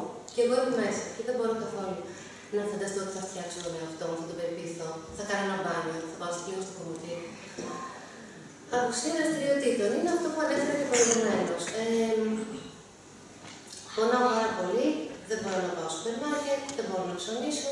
Υπάρχει όμως και εναλλακτική του να μην πάμε στο σούπερ μάρκετ που μπορεί να είναι πολύ μακριά, μπορεί να μα κάνει κόσμο πολλέ αγκούλε, αλλά να πούμε απέναντι σε εκείνο το μικρό μήνυμα και να πάρουμε δύο-τρία πραγματάκια. Αυτό είναι μια πολύ βοηθητική κίνηση όταν όλη μέρα είσαι σε ένα σπίτι. Απουσία δραστηριοτήτων, ναι, ελαττωμένη αυτοεκτίμηση. Ε, σαν να πιστεύει ένας άνθρωπος ότι που πονάει ότι ο άλλος τον βλέπει μόνο ως πόνο. Ότι σαν ο πόνος του να καλύπτει πάλι την, την προσωπικότητά του και να έχει ξεχάσει όλα εκείνα τα χαρακτηριστικά που απέκτησε στη ζωή του μέχρι να εμφανιστεί ο πόνος. Επικέντρωση προσοχή στον πόνο, αυτό είναι ένα μεγάλο πρόβλημα, γιατί ε, έχει αποδειχθεί ότι όσο πιο πολύ εστιαζόμαστε στο ότι πονάω τώρα, τώρα έρχεται ο πόνος ή να, τώρα που θα έρθει ο πόνος, θα περάσουν πάλι 5-6 ώρες που θα συνεχίζω να πονάω και αυτό θα με κάνει να, να μείνω πάλι στο κρεβάτι. Άρα εστιάζομαι πάρα πολύ σε αυτό και το ερέθρημα, το, ο πόνος γίνεται όλο και πιο έντονος. Αίσθημα απελπισίας. Η αδυναμία του, του ατόμου να φανταστεί τη ζωή του στο μέλλον. Το συμβαίνει πάρα πολύ συχνά σε ανθρώπου πονούν. Ε, τους είναι πάρα πολύ δύσκολο να κάνουν κλπ.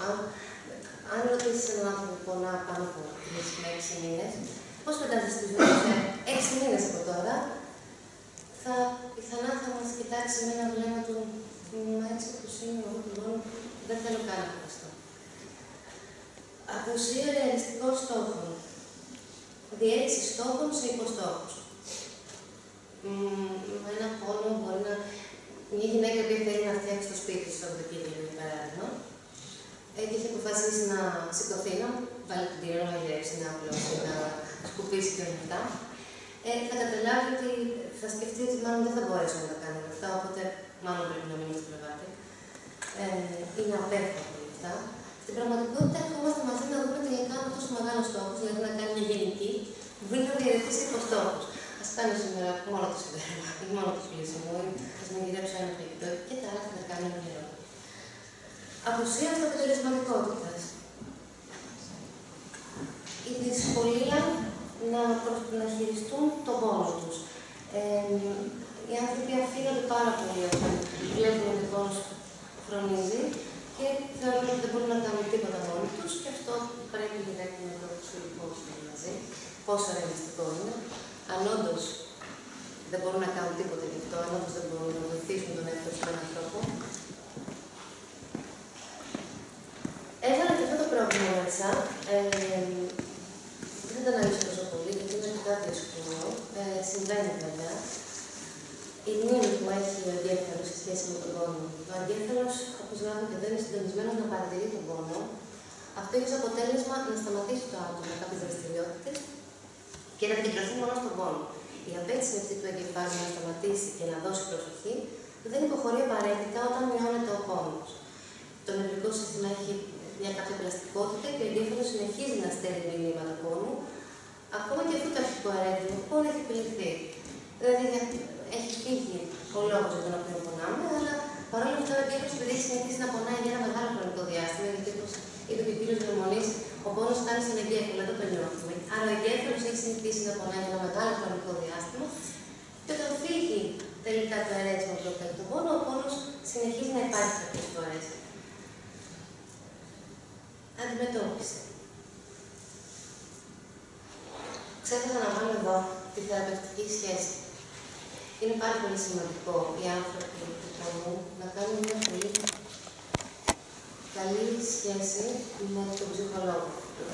Δεν είναι όλα τεχνικές και δυστυχώ δεν μπορώ να σας τα βάλω όλα σε ένα, δύο, τρία. Θα το ήθελα πάρα πολύ, αλλά είναι ένα σωρός συναισθημάτων και σκέψεων και συμπεριφορών που λαμβάνω όταν κάνω θεραπεία με έναν άνθρωπο. Οπότε ε, θα προσπαθήσω να σας πω ότι η θεραπευτική σχέση είναι το βασικό. Τίποτα από όλα αυτά δεν θα κάνει ένας άνθρωπος. Τίποτα.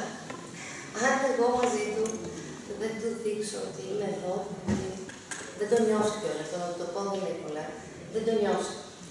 Ε, άρα, με έναν τρόπο, η βάση όλων είναι μια καλή θεραπευτική σχέση, σχέση εμπιστοσύνης, συνεργατικότητας, γνωσιακή αναδόμηση, αντικατάσταση δυσλειτουργικών σκέψεων με λειτουργικό. Αυτή τη σχέση που σας είπα πριν, ότι αν ε, βρεθώ σε αυτή την παρέα και δεν θα είμαι απαραίτητη, πόσο ρεαλιστική θα μπορούσε να είναι αυτή η σκέψη; Όχι πολύ. Γιατί η αλήθεια είναι ότι δεν θα έχει ρωτήσει καν είναι όντως νοητό. Πώς μου βλέπεις; Φτιάχνουμε μια δική μας υπόθεση, πεποίθηση, τη βάζουμε μέσα στο μυαλό μας και την αφήνουμε εκεί να ενδυναμωθεί. Όχι, υπάρχουν και λειτουργικές σκέψεις. Διαχείριση προσοχής. Ε, με στόχο την απόσπαση προσοχής, δηλαδή αυτό που είπαμε πριν για το ότι εστιαζούμε την προσοχή μας στον πόνο, ενώ στην πραγματικότητα υπάρχουν και άλλα πράγματα γύρω μας που θα μπορούσαμε να παρατηρήσουμε, όπως να μιλήσουμε λίγη μουσική, ε, να ρωτήσω τον σύντροφό μου, τον σύντροφό μου, το παιδί μου, για πες μου σήμερα πώς ήταν η μέρα σου, σίγουρα θα πάρω μια πληροφορία που θα μου αποσπάσει. Διαχείριση έκτακτων αναγκών. Αν βρεθώ στη δουλειά μου και με πιάσει ένας πολύ έντονος χρονοκέφαλο και δεν μπορέσω να ε, λειτουργήσω σωστά, τι κάνω, πάλι σου λοιπόν λίγο την κατάσταση. Πόσο καταστροφικό μπορεί να είναι αυτό; Όχι τόσο. Ε, μια ενημέρωση πριν ότι έχω αυτό το πρόβλημα, μια ενημέρωση μετά ότι τώρα ξεκινάει και ίσως θα χρειαστώ ένα διάλειμμα. Υπάρχουν τρόποι, αλλά στην ένταση του πόνου τους ξεχνάμε. Κοινωνική και οικογενειακή διαχείριση καταστάσεων. Σε καμία περίπτωση ο άνθρωπος δεν είναι μόνος του. Υπάρχει σε άμεση αλληλεπίδραση με την κοινωνία και την οικογένεια. Άρα, μέσα σε όλο αυτό που κάνω, που κάνουμε στη θεραπεία, στη ψυχοθεραπεία, ε, αν καθόμαστε απέναντι, είναι εγώ, είναι ο θεραπευόμενος και γύρω μου είναι το παιδί του, η μαμά του, νοητά. Υπάρχουν γύρω μας αυτοί οι άνθρωποι και υπάρχουν και οι σχέσεις και οι αντιδράσεις και καλό είναι εκεί να το ελέγχω και εγώ και αυτή. Φυσική κατάσταση. Μία ε, ώθηση ως προς το να, ως προς την άθληση, ως προς το να προσέχουμε τον εαυτό μας. Ε, υπάρχουν ασθενείς που έρχονται και μου λένε μου είπε γιατρός να περπατάω μισή ώρα την ημέρα. Δεν το κάνω αυτό, δεν μπορώ. Εγώ δεν έχω όρεξη να κάνω τίποτα. Στόχος λοιπόν είναι αυτό που είπε ο γιατρός. Να περπατήσω μισή ώρα την ημέρα. Ο στόχος είναι, ok, okay, δεν μπορεί να περπατήσει μισή ώρα την ημέρα, σου φαίνεται βουνό, normal. Ε, πέντε λεπτά σήμερα, πέντε λεπτά σε δύο μέρες, δέκα λεπτά σε δύο μέρες, και το Τεχνική πνευρονική χαλάρωσης. Ναι. Αυτό είναι ένα, μια τεχνική που εφαρμόζουμε στην ψυχοθεραπεία. Ουσιαστικά έχει στόχο λίγο να κοιτάξει ο άνθρωπος ε, να κλείσει τα μάτια του, αλλά δεν είναι τόσο απλό, θέλει κάποια σειρά συνεδριών, να κλείσει τα μάτια του και να μπορέσει να επικεντρωθεί σε όλο το σώμα, πάνω μέχρι κάτω. Και αυτό ε, με έναν τρόπο να, να χαλαρώσει. Αυτό είναι μια από τις τεχνικές, αλλά σίγουρα δεν μπορώ να την εξηγήσω έτσι απλά. Νομίζω το έχω πει, δεν θέλω να σας κουράζω άλλο. Ε, το μοντέλο. Ουσιαστικά ότι είναι το εργαλείο το δικό μου, κάποιο τρόπο, ότι συνεργάζομαι με έναν ασθενή, αλλά έχει το βιολογικό υπόβαθρο, το, το σωματικό δηλαδή σύμπτωμα, τα όργανα, το σώμα, όλα αυτά που έχουν καταπιέσει το γιατροί, ψυχολογική διάσταση, διάσταση ε, συναισθήματα, σκέψη, συμπεριφορές και κοινωνική διάσταση, οικογένεια, κοινωνία. Θεωρία της πύλης είναι πάντα ένα καλό εργαλείο, αλλά ας το αφήσουμε για αυτό. Οικογένεια ένας άνθρωπος πονά, αλλά όλη η οικογένεια υποφέρει από αυτόν τον πόνο. Συνήθως εμφανίζονται οι, οι συγγενείς αυτών των ανθρώπων ε, χαωμένοι. Ε, με ένα πίστευτο άνθρωπο στο, στο βλέμμα τους, ότι κάτι, κάτι πρέπει να κάνω παραπάνω, μήπως ε, δεν βοηθάω όσο πρέπει, ή έχω κουραστεί κι εγώ πάρα πολύ και κανείς δεν ασχολείται μαζί μου, ή με νευριάζει πια ή τη λυπάμαι πάρα πολύ. Πάρα πολλές σκέψεις στην οικογένεια. Εκεί ο στόχος είναι να ενημερώσουμε την οικογένεια σχετικά με τον πόνο. Τι είναι αυτός ο πόνος που συμβαίνει στον άνθρωπό μου. Εκεί ξέρουν και οι γιατροί και οι ψυχολόγοι μου. Όλοι. Προσπαθούμε να το εξηγήσουμε, είστε γνώστο στο στόμα, με συγχωρείτε. Νομίζω ότι θα πρέπει να τελειώσουμε. Ε, Ναι, ναι, γιατί είναι. Ενημέρωση σχετικά με τον πόνο, λοιπόν, τι είναι αυτό ο πόνο, υπενθύμηση των αναγκών, ότι και αυτός ο άνθρωπος της οικογένειας, ευχαριστώ πάρα ότι και αυτός ο άνθρωπος πέρα από τον ασθενή και η υπόλοιπη οικογένεια, ο σύντροφος, ο σύζυγος, οι γονείς έχουν και αυτέ τις δικές τους ανάγκες και πρέπει να τις εκπληρώνουν αυτέ τις δικές τους ανάγκες, γιατί μόνο αν είναι καλά εκείνοι, θα είναι καλά και οι συγγενεί τους. Διαφορετικά δεν γίνεται. Τρόπο αντιμετώπισης και στήριξης του πάσχοντος, τι κάνουμε όταν ο ασθενής εκείνη την ώρα, ο άνθρωπος που πονά και ο ασθενή, συγγνώμη, ο άνθρωπος που πονά εκείνη την ώρα ε, έρχεται και νευριάζει. Τι να κάνω, έχει να νευριάζει. Τι να κάνω, ε, δεν μπορώ να αντιμετωπίσω και το λυπάμαι. Εκεί πάλι του. Κάνουμε μαζί κάποιες συναντήσεις και τον βοηθάμε να βρει και αυτός έναν τρόπο που να μπορέσει να αντιμετωπίσει τον άνθρωπό του χωρίς να χάνει τον εαυτό του. Και περιορισμός συμπεριφορών που προάγουν τον πόνο. Ναι, είναι, είναι πολύ συχνός στι οικογένειες να δούμε ε, την εξής συμπεριφορά. Να κάνουν τα πάντα για τους συγγενείς, να, να δίνουν τα πάντα, να μην τους επιτρέπουν να σηκώσουν το ποτήρι του νερό για να μην κουραστεί ε, ή για να μην νιώσει ότι δεν, δεν είναι κοντά του. Αυτό όμως στην πραγματικότητα μόνο πρόβλημα δημιουργεί, γιατί η πιθανότητα να μπορεί να σηκώσει το ποτήρι είναι μεγάλη, ο ίδιος ασθενής. Άρα μπαίνουμε σε μια διαδικασία νοσηλότητα μέσα στο σπίτι. Ε, δεν είναι τόσο απλό βέβαια να το αλλάξεις αυτό το συνήθιση, αλλά υπάρχουν τρόποι να δώσουμε ένα ζευγάρι σε αυτό που πονά και να αφήσουμε και λίγο τον εαυτό μα να χαλαρώσει την οικογένεια. Ωραία, φτάσαμε στο τέλος. Αυτή είναι μία φράση που μου είχε πει μία ασθενή και μου είχε μείνει πάρα πολύ και με είχε συγκινήσει. Ο πόνος ήρθε για να μου επιβάλλει το δικό του τρόπο ζωής και όσο το αισθανόμουν, τόσο μου θύμωνε και τόσο με χειριζόταν. Δεν γίναμε φίλοι, αλλά έμαθα εγώ να το χειρίζομαι και τώρα πια συγκατοικούμε αρμονικά στο σώμα. Σας ευχαριστώ πάρα πολύ.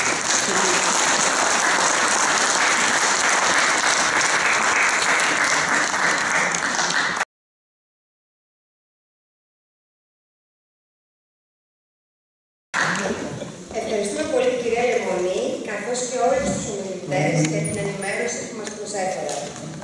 Οι ιατροί είναι έτοιμοι να δεχτούν τις ερωτήσεις σας. Θα σας παρακαλέσω να είστε σύντομοι για να μιλήσετε όσο το δυνατόν περισσότερο. Ξεκινάμε.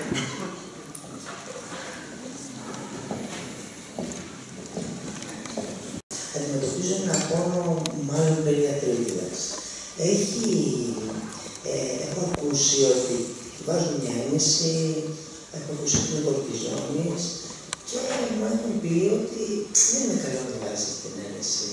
Προσπάθησε και από μόνη σου να περάσει ε, με γυμναστική, με φυσιοθεραπεία, με κάποιες αλυφές, με- γιατί ίσως η κορτιζόνη ε, κάνει κακό. Ίσως και για τη μετέπειτα, α, μια μετέπειτα ασθένεια που μπορεί να χρειαστεί κορτιζόνη. Ε, αν έχεις ήδη πάρει, ε, δεν θα κάνει καλό. Τι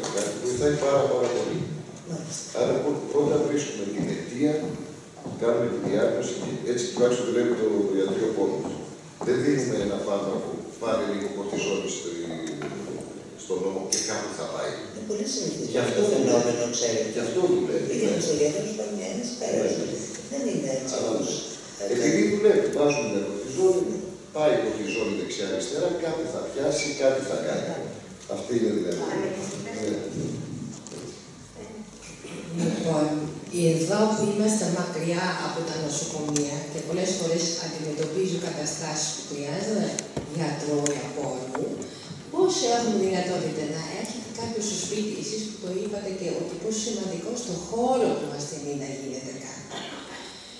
Έχω ένα μεγάλο θέμα ότι αν έχουμε κάποιον οπαθής εδώ, οι περισσότεροι τώρα υπάρχει βέβαια μια ομάδα από την Γαλιλαία που αντιμετωπίζει και έχει και ένα γιατρό πόνο, αλλά οι, όλοι οι άλλοι δεν έχουν δυνατότητα πρόσβασης ή μετακίνησης στα νοσοκομεία. Πολλές φορές πάνε οι συγγενείς με το φάκελο, ό,τι έχει ο φάκελος, που πολλές φορές είναι ρήπη. Και εγώ έχω το θέμα πώς να αντιμετωπίσουμε τέτοιους ανθρώπους εδώ με τους απλούς γιατρούς, κλινική ή παθολόγοι, με το θέμα πόνο.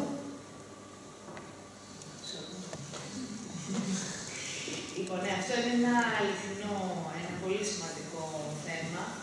Ε, η αλήθεια είναι ότι στην Ελλάδα αυτή τη στιγμή λειτουργούν σχεδόν 50 ιατρία πόνου και παρηγορικής φροντίδας στα κρατικά νοσοκομεία.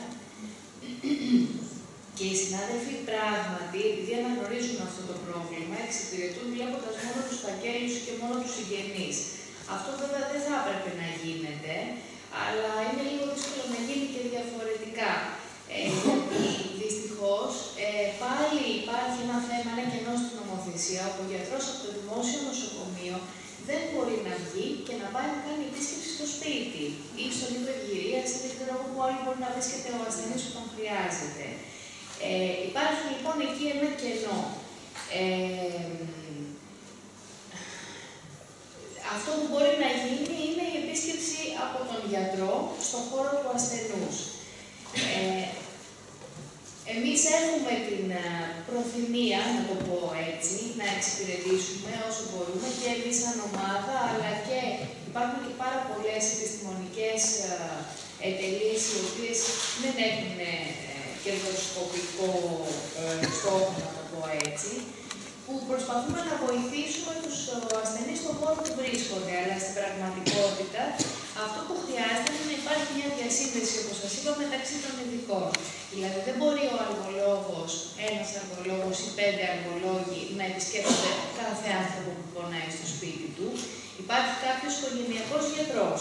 Είτε αυτός είναι ο γιατρός από το ε, δημόσιο το ταμείο, το ΙΚΑ για παράδειγμα, που μπορεί να επισκεφθεί τον ασθενή στο σπίτι και ο οποίος μπορεί να εκτιμήσει την κατάσταση και να επικοινωνήσει με τον ειδικό γιατρό. Γιατί αντιλαμβάνεστε ότι εκ των πραγμάτων δεν. Δηλαδή, εμείς θα έπρεπε να είμαστε το πρωί μέχρι το βράδυ, ε, όλοι οι αργολόγοι που υπάρχουν αυτή τη στιγμή στην Ελλάδα και να βλέπουμε τους ανθρώπους στα σπίτια. Άρα λοιπόν μια καλή συνεργασία μπορεί να υπάρχει.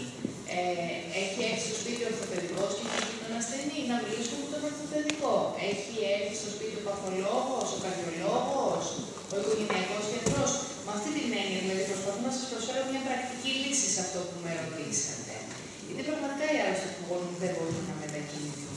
Και βέβαια όταν υπάρχει πραγματική ανάγκη, γιατί κατά τα ψέματα μερικές φορές, ε, και δεν το λέω για να κατακρίνω κανέναν, μερικές φορές έχουμε και την τάση να αναστάμε την εύκολη λύση. Δεν είναι αλήθεια ότι δεν μπορούν οι άρρωστοι να πάνε στο γιατρό. Ε, εξαρτάται από το. Έτσι. Μερικές φορές τους αφήνουν και η οικογένεια. Αυτό που είπε προηγουμένως η κυρία Λεμονή, ότι δεν τον αφήνουν να σηκώσει ένα ποτήρι νερό. Και δεν σκέφτονται ότι ενδεχομένως θα του έκανε καλό το να βγει από το σπίτι, να προγραμματίσει την θεραπεία του. Είναι σημαντικό ο άρρωστος να έχει την κατάσταση στα χέρια του. Τώρα, αυτό σαν παρακλάδι, σε αυτό που με ρωτήσατε, δεν είναι καλό να τους το οργανώνουμε όλοι εμείς. Πρέπει να τους αφήνουμε να παίρνουν ήδη την κατάσταση στα χέρια τους, να έχουν την αίσθηση ότι ελέγχουν τη θεραπεία, γιατί έχουν δικαίωμα να διαλέξουν τη θεραπεία τους και τον γιατρό τους. Δεν έχει μεγάλο νόημα να του ανακοινώσω, ξέρεις, αύριο θα έρθει στο σπίτι ο κύριος καθηγητής Τάρε να σε δει. Δεν, δεν το συζητάω. Έτσι δεν το συζητάω. Γι' Για αυτό πάντα πάω σε ένα για- παρακλάδι. για εξετάσεις εγώ τους το είναι εύκολο γιατί λέω ότι πηγαίνετε εκεί, μην έχετε ο γιατρός ή κάποιος εδώ να σας πάρει το αίμα, γιατί μόνο η βόλτα σας κάνει καλό. Δεν είναι εκεί το θέμα. Έχουμε και την υπερπροστασία πάρα πολύ από τους συγγενείς που μόνο που βλέπουμε κάποιον πονάει περισσότερο από τον ασθενή. Πάρα πολλές φορές, όπως είπε και η ψυχολόγος, πρέπει να σου τραβήξουν τα χέρια για να κρατάνε την ε, αυτονομία οι ασθενείς ε, και να γεμίζουν και την ημέρα με πράξεις. Αλλιώς, ας πούμε, δεν ε, συγκεντρώνουμε τόσο πολύ στον πόνο που ουσιαστικά έχουν χάσει την επαφή με τη ζωή. Αυτό το, το βλέπω και εγώ. Αλλά αυτό που είναι σε φάσεις που κάποιος είναι πραγματικά κατάκτητος, δεν έχω δυνατότητα δηλαδή εύκολα να βρω σύνδεσμο εκτός από τους συγγενείς που πάνε με το φάκελο, αλλά για μένα είναι αρκε- αρκετά ε, σωστά, δηλαδή δεν τοποθετούν για μένα σωστά τα πράγματα στο, στο, στο γιατρό. Γιατί είναι με την, την έννοια, έχω στεναχωριέμαι που βλέπω τον άλλο που πονάει.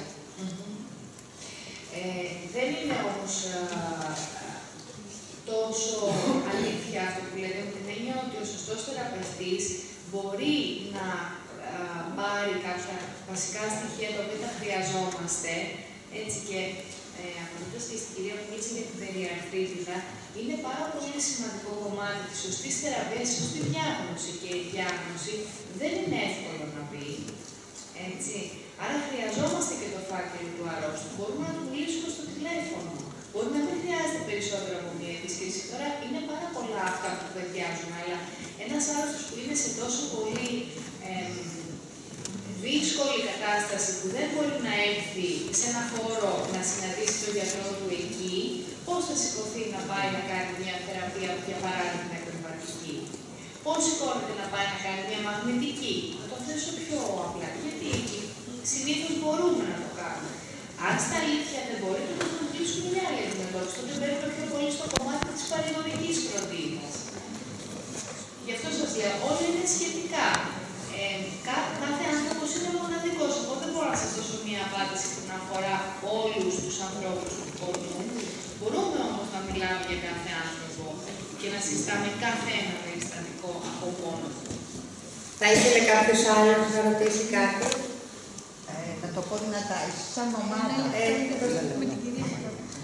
Ε, ναι, καλησπέρα σας. Ήθελα να απευθυνθώ στον κύριο Θεοδόρη. μετά, μετά θα είστε εσείς.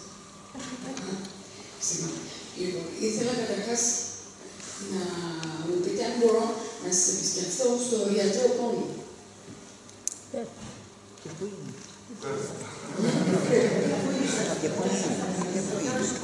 Στον ναυτικό νοσοκομείο, πέστε. Στον ήλιο δηλαδή.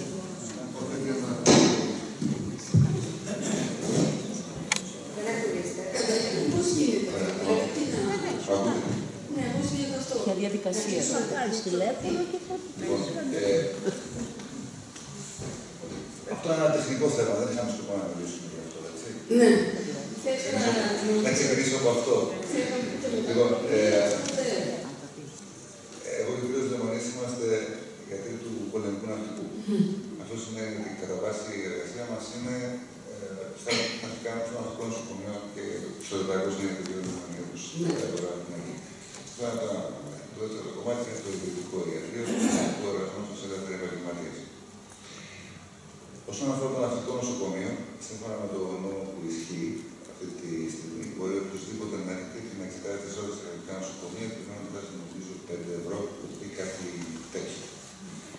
Αλλά αυτό είναι μόνο σε επίπεδο εξωτερικού ιατρίου.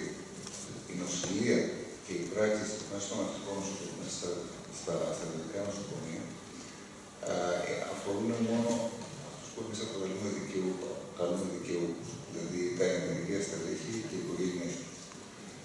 Οπότε μπορεί κάποιος να έρθει ε, να μας δει όταν έρθει στο ναυτικό νοσοκομείο, ε, αλλά μόνο σε επίπεδο εξωτερικού ιατρίου. Αυτό, αυτό είναι μια καταρχά προσέγγιση. Από εκεί και πέρα, επειδή ένας δημόσιο νοσοκομείο είναι ένας δημόσιο νοσοκομείο, προφανέστατα επειδή στα πλαίσια του ιδιωτικού μας επαγγέλματο, εργαζόμαστε κάτι που πρέπει να κάνουμε. Αλλά ξαναλέω, αλλά θα σας καλύψουμε με το δέσμο των άνθρωπων. Εγώ θέλω να συνεχίσω να μου απαντήσεις σε αυτό το ερώτημα, θέλω να ρωτήσω. Ιδιωτικά κάποιος μπορεί να σας δει και αυτά τα οποία προτείνατε σαν θεραπείες γίνονται ιδιωτικά, δηλαδή εσείς πέρα από το νοσοκομείο, πιστεύω, που εφαρμόζονται αυτές οι, οι θεραπείες, ε, εφαρμόζονται και εκτός των νοσοκομείων; Ναι. Ναι. Επομένως, βρίσκουμε κάπου τα τηλέφωνά σας και ερχόμαστε στην επαφή μαζί σας. Εδώ. Ορίστε. Αυτό που είναι το κινητό είναι ιδιωτικό; Της γραμματείας. Δηλαδή κάπου ιδιωτικά. Ναι, ναι, ναι. Ωραία. Ε, Εντάξει. θα ήθελες Τώρα, με συγχωρείτε, με συγχωρείτε. Αυτό θα, επειδή ε, ε, άρχισα να απαντάω εγώ, επειδή ακολουθήκα καταρχά σε μένα, έτσι. Αυτό ισχύει για μένα και για τον κύριο Λεμόνι. Η Άννα Καραστάση είναι ιδιώτης. δεν Το έχω είναι καταλάβει, το έχω ιδιώτης. καταλάβει. ναι. Όπως και η κυρία, η κυρία Το έχω Λεμόνι. καταλάβει. Θεραπεία, ε, θεραπείες ε, ιατρικές κάνουν εσύ δύο. Ε, οι άλλοι. Οι κυρίες είναι παρηγορητική και ψυχολογία. Όχι. Όχι. Θεραπείες επεμβατικές. Επεμβατικές. Επεμβατικές κάνουμε εγώ και ο κύριος Λεμόνι. Αυτό είναι. Θεραπείες ιατρικές Α, εντάξει, ναι, ναι, Κάνουμε εννοώ. εγώ, η κυρία Καταναστάση Σωστά, και σωστά. ο κύριος Δεβονής. Έχετε δίκιο, ναι. Συγγνώμη. Δηλαδή, η κυρία Καταναστάση, στην πραγματικότητα, είναι εξαιρετική ιατρική, έτσι όπως την έχουμε Ναι. στο μυαλό. Γιατί όλοι σας Ναι, είστε γιατί- Ε, η κυρία Λεμονή είναι ψυχολόγος. Το κατάλαβα, το κατάλαβα. Ναι, οι ιατροί όλοι είστε, αλλά επεμβατικοί. Ε, να πω, Απευθύνομαι. γι' αυτό, ε, συγγνώμη, να πω κάτι, γιατί γι' αυτό δεν, δεν σας απάντησα πιο ευθέως προηγουμένως, γιατί δεν θέλω να θεωρηθεί ότι κάνουμε διαφήμιση. Έτσι, δυστυχώς, ε, ναι, ε, εγώ γι' αυτό δεν σας απάντησα. Εγώ πηγαίνω στα σπίτια, βλέπω αρρώστους, όποιον και αν με πάρει τηλέφωνο, αλλά νομίζω ότι είμαι ο μόνος γιατρός αυτή τη στιγμή, τουλάχιστον στην Αττική, που μπορεί να το κάνει αυτό, γιατί είμαι νομικά κατοχυρωμένη σαν ελεύθερος επαγγελματίας. Λυπάμαι που δεν μπορώ να το κάνω δωρεάν. Θα ήθελα να ε, είμαι κάπως έτσι, ναι. Δεν, αλλά δεν θέλω να σας πω πάρτε με τηλέφωνο και θα έρθω, γιατί δεν θέλω να κάνω διαφήμιση ούτε στον εαυτό μου ούτε στην ομάδα μας. Πάρτε με τηλέφωνο και θα σας βοηθήσω όσο μπορώ, συζητώντας για κάθε μεμονωμένο άρρωστο που μπορεί να αφαιρεθεί. Ε, εννοείται χωρίς χρέος, έτσι. Δεν είναι 0,90 που είναι. Θα ήθελα και να το ξαναπώ λιγάκι έτσι, όπως είπα, γιατί με το βοηθήσετε να με ρωτάτε για το που μπορείτε να μας δείτε. Ε, Δεν θα με, θα γι' αυτό που δυσκολεύεται λίγο που μας Με το την κάνετε. ε, δεν πει- δεν είναι να, να, να ξέρετε κάτι για αυτό το θέμα, περισσότερο να μας πούμε. Υπάρχει ένα, ένα concept, concept, ένα, έτσι, Αυτό δεν θέλω να πω. Η συζήτηση βέβαια που έχουμε κάνει και με την ΕΡΗ είναι ότι δεν το έχουμε αποφασίσει ακόμα το πόσο και το πότε. Ότι μιλήσαμε μαζί και για εθελοντισμό. Μένει να αποφασίσουμε με τη Μαριτριέλ τι Πού μίλησαμε σε την πλατηθή, μάλλον δεν ξέρω ποιο ήταν ο κύριο, πότε να μα βρει ένα χώρο εδώ στο κέντρο υγείας ώστε να μπορούμε να εξετάζουμε δωρεάν το συζήτησα ήδη πριν, γιατί ένας σκοπός που ήρθαμε εδώ σήμερα είναι και κάποιες δωρεάν επισκέψει. Ωραία. Ήταν η ερώτηση που θέλαμε να πούμε σε όλους. Μας προδώσατε Είμαστε, τώρα. είμαστε και στου εθελοντές. Ναι. Αυτή ήταν η έκπληξη. Ναι. Ένα και ο πρόεδρος. Και μάλιστα, εάν χρειάζεται να γίνει και κάποια πράξη, τότε πάλι θα συζητήσουμε και τον αριθμό των πράξεων που τουλάχιστον εγώ και ο Στοχάρης σε ελευθερικές δεν θα πάρουμε κάποια λεφτά. Ε, θα ήθελα να πω ότι... Οι πράξεις καλύπτονται από το Ταμείο, όλες αυτές που κάνουμε, καλύπτονται από το Ταμείο. Βέβαια στα ιδιωτικά νοσοκομεία κάτι ένα ποσοστό πάντα ζητάνε τα ιδιωτικά ανάλογα με το νοσοκομείο. Θα υπάρχει να, να συμπληρώσω ότι θα υπάρχει περαιτέρω ενημέρωση, οπότε μην αγχώνεστε. Σήμερα α, να σας ρωτήσουμε βάσει αυτών των πραγμάτων των οποίων ακούσαμε και θα συνεχίσουμε η ομάδα εθελοντών να σας ενημερώνουμε και θα προσπαθήσουμε να κάνουμε ό,τι μπορούμε για να μπορούμε να εξυπηρετήσουμε τους ανθρώπους που έχουν ανάγκη να δουν τους γιατρούς, να τους επισκεφτούν. Έχουμε μία, μία ερώτηση ακόμα εδώ. Απευθύνομαι στον κύριο Λεμονή. Ε, ήθελα να ρωτήσω, λέω, ακόμη έτσι καταστάσεις ή και χρόνιες καταστάσεις πόνου, είτε οσφυροσιαλγία, στη μέση, αυτό που δεν προλίγο ότι επεμβαίνεται με κάποιο τρόπο και δίνεται καταστάσεις έτσι ώστε να γλιτώσουμε το χειρουργείο. Ε, πολύ σημαντικό αυτό, ας πούμε, γλιτώνοντας, δηλαδή έτσι λίγο να μου λέγατε λίγο τον τρόπο, είτε και αυτό που είπατε για την ε, ιερολαγωνίτιδα. Ε, είναι μεγάλη, μεγάλο, έτσι, μεγάλο πράγμα να γλιτώσει ένα χειρουργείο, μια μεγάλη ταλαιπωρία, που στο τέλος, τελικά, φαντάζομαι, ότι μπορεί να μην διορθώσει και το πρόβλημα. Γιατί λέτε ότι αναπαράγεται τον πόνο και καταλαβαίνεις από πού είναι το πόνος. Είναι μεγάλη υπόθεση και να γλιτώσει και χρήματα και ταλαιπωρία, αλλά και τελικά μοιίες. Λοιπόν, υπάρχουν, όπως λέει το κ. υπάρχουν κάποια προβλήματα, στη, ειδικά στις πολιτιστικέ, που στο εξωτερικό φανταστείτε ότι πρώτα λένε οι ασφαλιστικέ εταιρείες θα περάσεις πρώτα το ιατρείο πόνου και αν δεν μπορεί να κάνει κάτι το ιατρείο πόνου, τότε θα έρθει η χειρουργείο. Αυτή είναι η, η οδηγία των ασφαλιστικών εταιρεών στην Ευρώπη και στην Αμερική. Αυτό γιατί; Ένα παράδειγμα είναι όταν πονάει η μέση μας μπορεί να φταίει ο δίσκος. Ένα μαξιλαράκι που είναι ανάμεσα στους δύο σπονδύλου. Πολλές φορές αυτό δεν χρειάζεται χειρουργείο. Αλλά μπορεί να βάλουμε μέσα με μια βελόνα ή ένα ειδικό τζελ το οποίο μπαίνει μέσα στο δίσκο, πάει και κλείνει κάποιες ρογμές του δίσκου που πάσχει και έτσι σταματάει ο πόνος, δυναμώνει και ο δίσκος και μπορεί, είναι μια περίπτωση από αυτή που αναφέρει ο κύριος, ότι μπορεί να γλιτώσουν λέει και το χειρουργείο. Όπως για παράδειγμα η, αυτό που σας είπαμε την αιωναγωνίτητα, στην αιωναγώνη άρθρωση, πάρα πολλές φορές πονάει ο άλλος στη μέση, κάνει μια μαγνητική, αλλά το 60% από εδώ που θα κάνουμε μαγνητικές θα βρούμε κάποιες κύλες. Όλοι μας. Το θέμα είναι, είναι ο πόνος μας η κύλη. Εκεί είναι το μεγάλο ερωτηματικό που συζητάμε με όλους τους συναδέλφους με τη πολυλικιστή. Άλλοι θα βλέπουν στη μαγνητική, γιατί πάντα εγώ τα έχω στο ιατρείο πόνο έρχονται με μια τσάντα, μια μαγνητική και μου λένε κοίτα. Και όταν τους λέω, άστο στην άκρη, θα το δούμε μετά. Με κοιτάνε περίεργα. Γιατί όλοι είναι αυτό και εκείνο. Η φιλοσοφία του ιατρίου, των ιατρείων πόνου στον κόσμο, στην Ελλάδα, είναι ότι πρώτα παίρνουν το ιστορικό μετά εξετάζουμε τον ασθενή κλινικά, βλέπουμε ποια είναι η πιθανή αιτία από αυτή που εμείς νομίζουμε ότι κλινικά μπορούμε να δούμε και επιβεβαιώνουμε μετά. Αυτό είναι ότι μπορεί πολλές φορές με μια τέτοια εξέταση να κοιτώσουμε ένα πιθανό χειρουργείο που θα είναι στην πράξη, ναι, πρέπει να γίνει γιατί τώρα, αλλά στην ουσία δεν ήταν αυτή η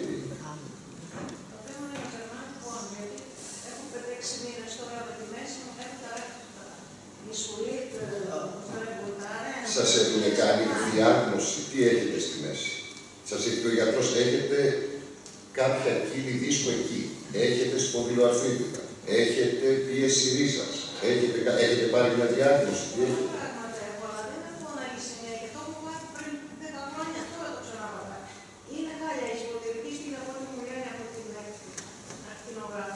Το είναι χάλια σας, το έχουν εξηγήσει Αυτό τι σημαίνει, ότι... Έτσι. Αυτό σημαίνει λοιπόν ότι στη μέση πάντα υπάρχει κάποια εκφύλιση. Κάτι. Λόγω, λόγω πάρα πολλών γεγονότων, δηλαδή μια άσχημη κίνηση, οτιδήποτε, μπορεί να δημιουργήσει επιδείνωση του προβλήματος που ήδη έχετε. Εμείς αυτό που πρέπει να κάνουμε είναι να δούμε το πρόβλημα που έχετε Να σας πούμε ότι αυτό είναι το πρόβλημα και αυτό επιδεινώθηκε τώρα για αυτό το λόγο. Και να πάμε να στοχεύσουμε εκεί. Ναι, όχι, απλά σας λέω ότι η φιλοσοφία όλη αυτή της ομάδας και των ιατρών χώρων στον κόσμο δεν είμαστε κάτι, δεν είμαστε πρωτοπόροι. Εμεί μα τα είπαν άλλοι δεν τα μάθαμε. Ωραία, δεν τα μάθαμε μόνοι μα. Ναι, είναι, είναι να μπορέσουμε, να μπορέσουμε αυτή τη στιγμή να κάνουμε διάγνωση. Εσείς είδατε, δεν ξέρετε τι έχετε. Μου είπαν η μέση είναι χάλια. Όταν φύγετε από εμάς, δεν θα, δεν θα, δεν θα σας πούμε η μέση είναι χάλια. Θα σας πούμε έχετε. Α, ναι, έχετε αυτό, εκεί, εκεί και εκεί. Και μπορούμε να κάνουμε αυτό και αυτό, αυτό και αυτό. Δύο ερωτήσεις Για να ακόμα. κλείσει το θέμα. Παρακαλώ, παρακαλώ. Δύο ερωτήσεις ακόμα και να κλείσουμε τη μέρα μας. Ένα λεπτό, είναι ο κύριος Βόγκολης εδώ και η κυρία. Ναι, τον κύριο Λεμονή θα ήθελα να ρωτήσω και την κυρία Κάμασα στη συνέχεια. Ε, όταν ο πόνος προέρχεται από τριβή στις κλειδώσεις ειδικά, ε, η έγχυση του πλάγματος συνοδεύεται και με κορτιζόνη ή αν η, ο πόνος προέρχεται από, από προστατευτικά. Ναι, αυτό είναι υποσυζήτηση. Δηλαδή, πάρα πολλοί συνάδελφοι κάνουν μία έγχυση που προσπαθούν να βοηθήσουν και με κορτιζόνη και με PRP. Και τελευταία μίλαγα μάλιστα σε ένα τελευταίο συνέδριο είχε αναφερθεί ότι κάνει μία εβδομάδα βάση PRP, περιμένει μια εβδομάδα, κάνει μια έγχυση, μια, μια έγχυση κορτιζόνης και μετά πάλι PRP. Δηλαδή αυτά είναι ανάλογα την πάθηση, την υποκοντρίτιδα, πρωτοπάθεια μάλλον, ανάλογα την πρωτοπάθεια, αποφασίζουμε ένα μοντέλο προσπαθώντας να πετύχουμε όσο μπορούμε και την λάθος της θερμονής, αλλά και με το βάζοντας εξαιρετικά μέσα στοιχεία να αναπαράγουμε λιγάκι όσο μπορούμε. Στην κυρία Κα- Καναναστάση. Ε, όταν ο, ο ύπνος είναι διακεκομένος ανά δύο ή μία ώρα. Πού οφείλεται.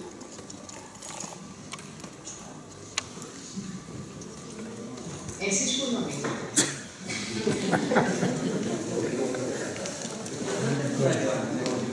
Ούτε εγώ. Έτσι, όταν πάτε στο γιατρό, έτσι, του λέτε, έχω αυτό που οφείλεται.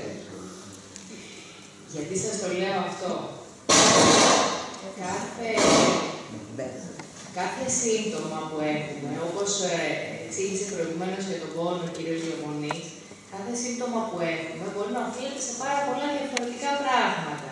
Και είναι πάρα πολύ σημαντικό ε, να συζητήσουμε πολλή ώρα με τον άρρωστο, όχι τα 10 λεπτά που δικαιολογούν στις ε, κρατικές επισκέψεις. Δυστυχώς δεν είναι γι' αυτό, έτσι.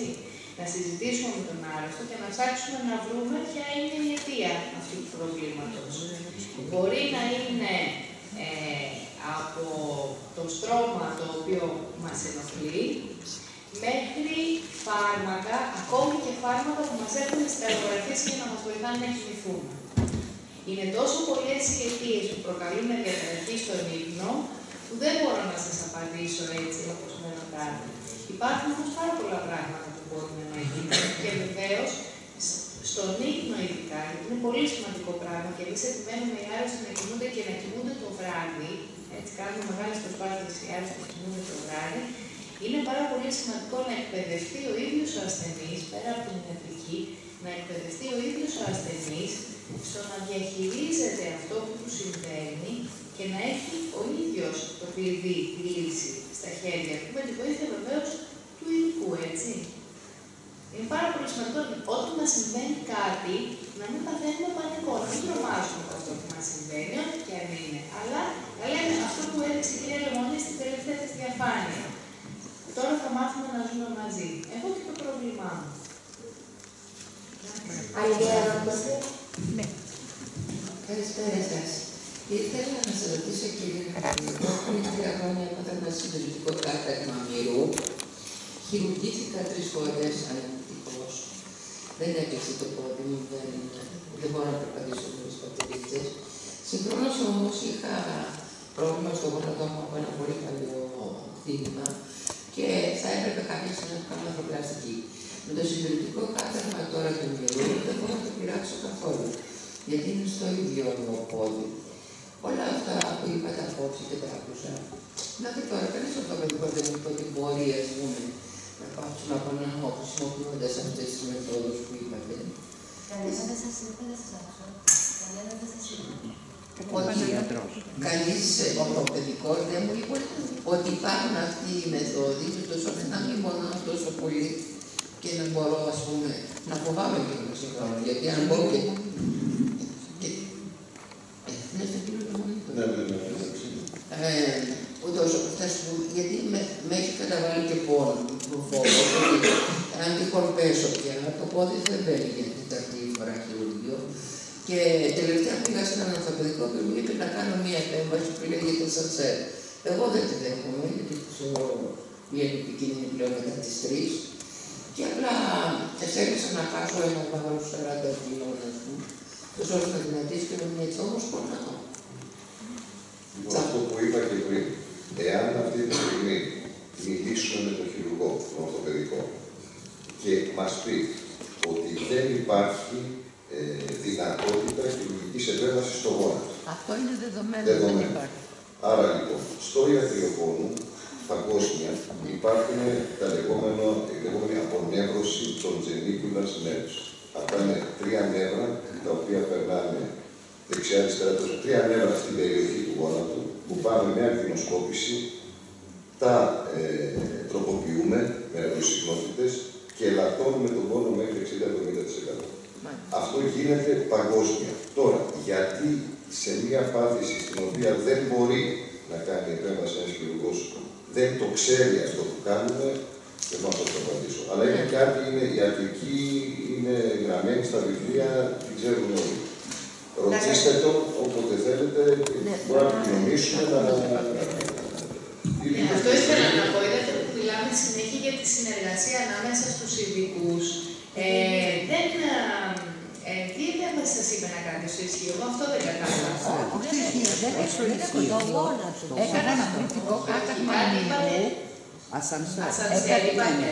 Ναι, και μου, εί- μου είπαν τώρα ότι για να πάω, δηλαδή για να πάψω να χρησιμοποιώ τις πατεντεβίτσες μου, θα πρέπει να μπω σε- σε τέταρτη επέμβαση, φορά, σε τέταρτη φορά επεμβάσεως και να κάνω ένα είδος ε, αν σας έρθαν και αυτή την επιμήκυση που κάνουν τα πόδια.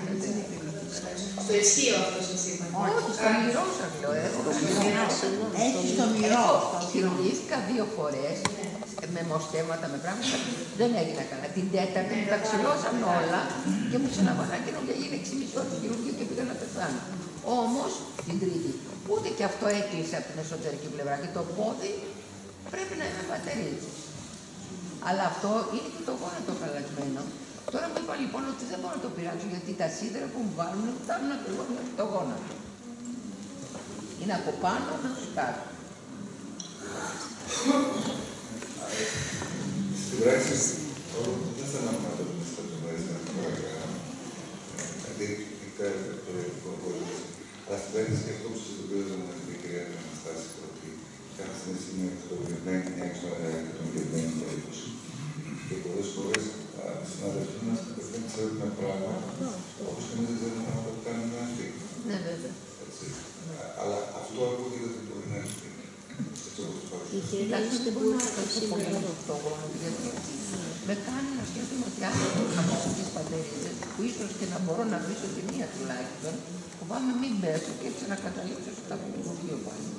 Πάρα την προπόθεση να δούμε που είναι, που είναι οι ήλιοι, που είναι βαρμένοι Ναι. τα σύντα, Ναι, ναι. σίδερα. Πρέπει να ξέρουμε που είναι.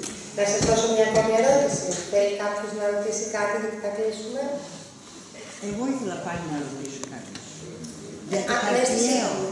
μπορεί να γίνει χωρίς επέμβαση; Το καρπιαίο Ο ναι. καρδιός σωλήνας, ναι.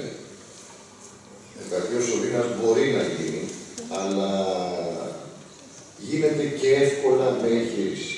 Δηλαδή, μπορούμε να πάμε εμείς στοχευμένα, να ρίξουμε λίγη κορτιζονούλα μέσα και μία φλεγμονή του νεύρου, η οποία οφείλεται στην πίεση που υφίσταται στον αρχαίο σωλήνα, στον καρδίο σωλήνα, μπορεί να σας βοηθήσει.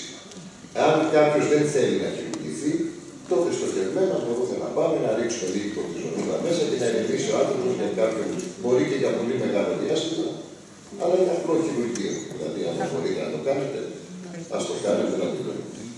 Να ρωτήσω. Ερώτηση μπορώ να κάνω. Λίγο γρήγορα. Πολύ σύντομα. Μου είχαν παρουσιαστεί κάτι συμπτώματα στα δάχτυλα. Κλειδώνουν τα δάχτυλά μου και δεν μπορώ να τα ανοίξω. Τι μπορώ να κάνω; Εγχείρηση. Αυτό είναι ερώτηση σε ορθοπαιδικό. Σε ορθοπαιδικό. Άμα δεν γονάνε, αυτό όμως ναι, εγχείρηση. Αλλά Άμα δεν μπορεί να χρησιμοποιήσει, πρέπει να μιλήσει παρηγορική, έτσι. Ναι. Είναι σημαντικό για να στεφτεί. Νομίζω ότι θα πρέπει να... Σε αυτό εδώ το σημείο φτάσαμε στο τέλος της σημερινής μας εκδήλωσης. Πιστεύω να ενημερωθήκατε και να φεύγετε χωρίς απορίες. Πιστεύω να σας άρεσε. Είναι η πρώτη φορά που γίνεται κάτι τέτοιο. Ε, θα είμαστε κι εμείς πιο οργανωμένοι την επόμενη φορά που θα κάνουμε πάλι το, το άλλο θέμα, το ιατρικό. Θα ήθελα να σας ευχαριστήσω όλους εσάς που ήρθατε, δεν φύγει κανείς ακόμα. Ε, θέλω να ευχαριστήσω και θέλω ένα θερμό χειροκρότημα για τον κύριο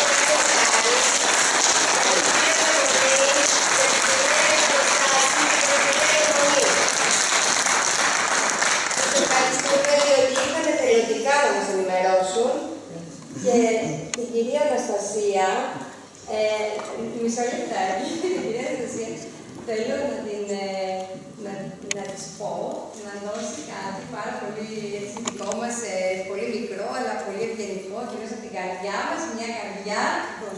Ε, να ενημερώσω και τους γιατρούς μας ότι η ομάδα εθελοντών έχει και μια οπα- ομάδα εφήβων. Οι έφηβοι λοιπόν στέλνουν αυτό το δώρο. Είναι καρδούλες. Ε, φτιάχνουν τα παιδιά μας σαπούνι και το προσφέρουν πάντα ε, σε, στις οικογένειες που έχουν ανάγκη και όταν έχουμε κάποια επίσημη εκδήλωση μας φτιάχνουν κάτι πιο special όπως αυτές τις καρδούλες και σας ευχαριστούμε πάρα πάρα πολύ από τα βάθη της καρδιάς μας. Και ευχαριστούμε που μας ενημερώνετε να πούμε σε άλλους ανθρώπους φίλους μας πάρα πολύ δωρόπουλο και να τους μας δώσουμε το τηλέφωνο. Και επίσης έχουμε, ε, θέλω να ευχαριστήσω όλους μας, όσους μας στηρίξανε σήμερα. Ε, τον κύριο Αγαμέμνον εδώ που μας τραβάει, έχει καρδούλα και για σένα μένα. και πάνω, όπως λέω πάντα, έχουμε το ήχος και φως. Είναι ο Θεός επάνω, γιατί χωρίς ήχος και φως δεν μας ακούει κανείς εδώ μέσα. Κύριε Γιώργο, έχουμε μια καρδούλα και για εσάς εδώ, που σας περιμένει. Ευχαριστώ όλους. Έχουμε καφεδάκι. Ευχαριστούμε τις ε, δημοτικές κοινότητες Αρανίδας, Καλυμπίων και Αναμίσου. Το Δήμο Σαρονικού που μας διέθεσε το χώρο. Τους υπαλλήλους που μας βοήθησαν και μας στήριξαν.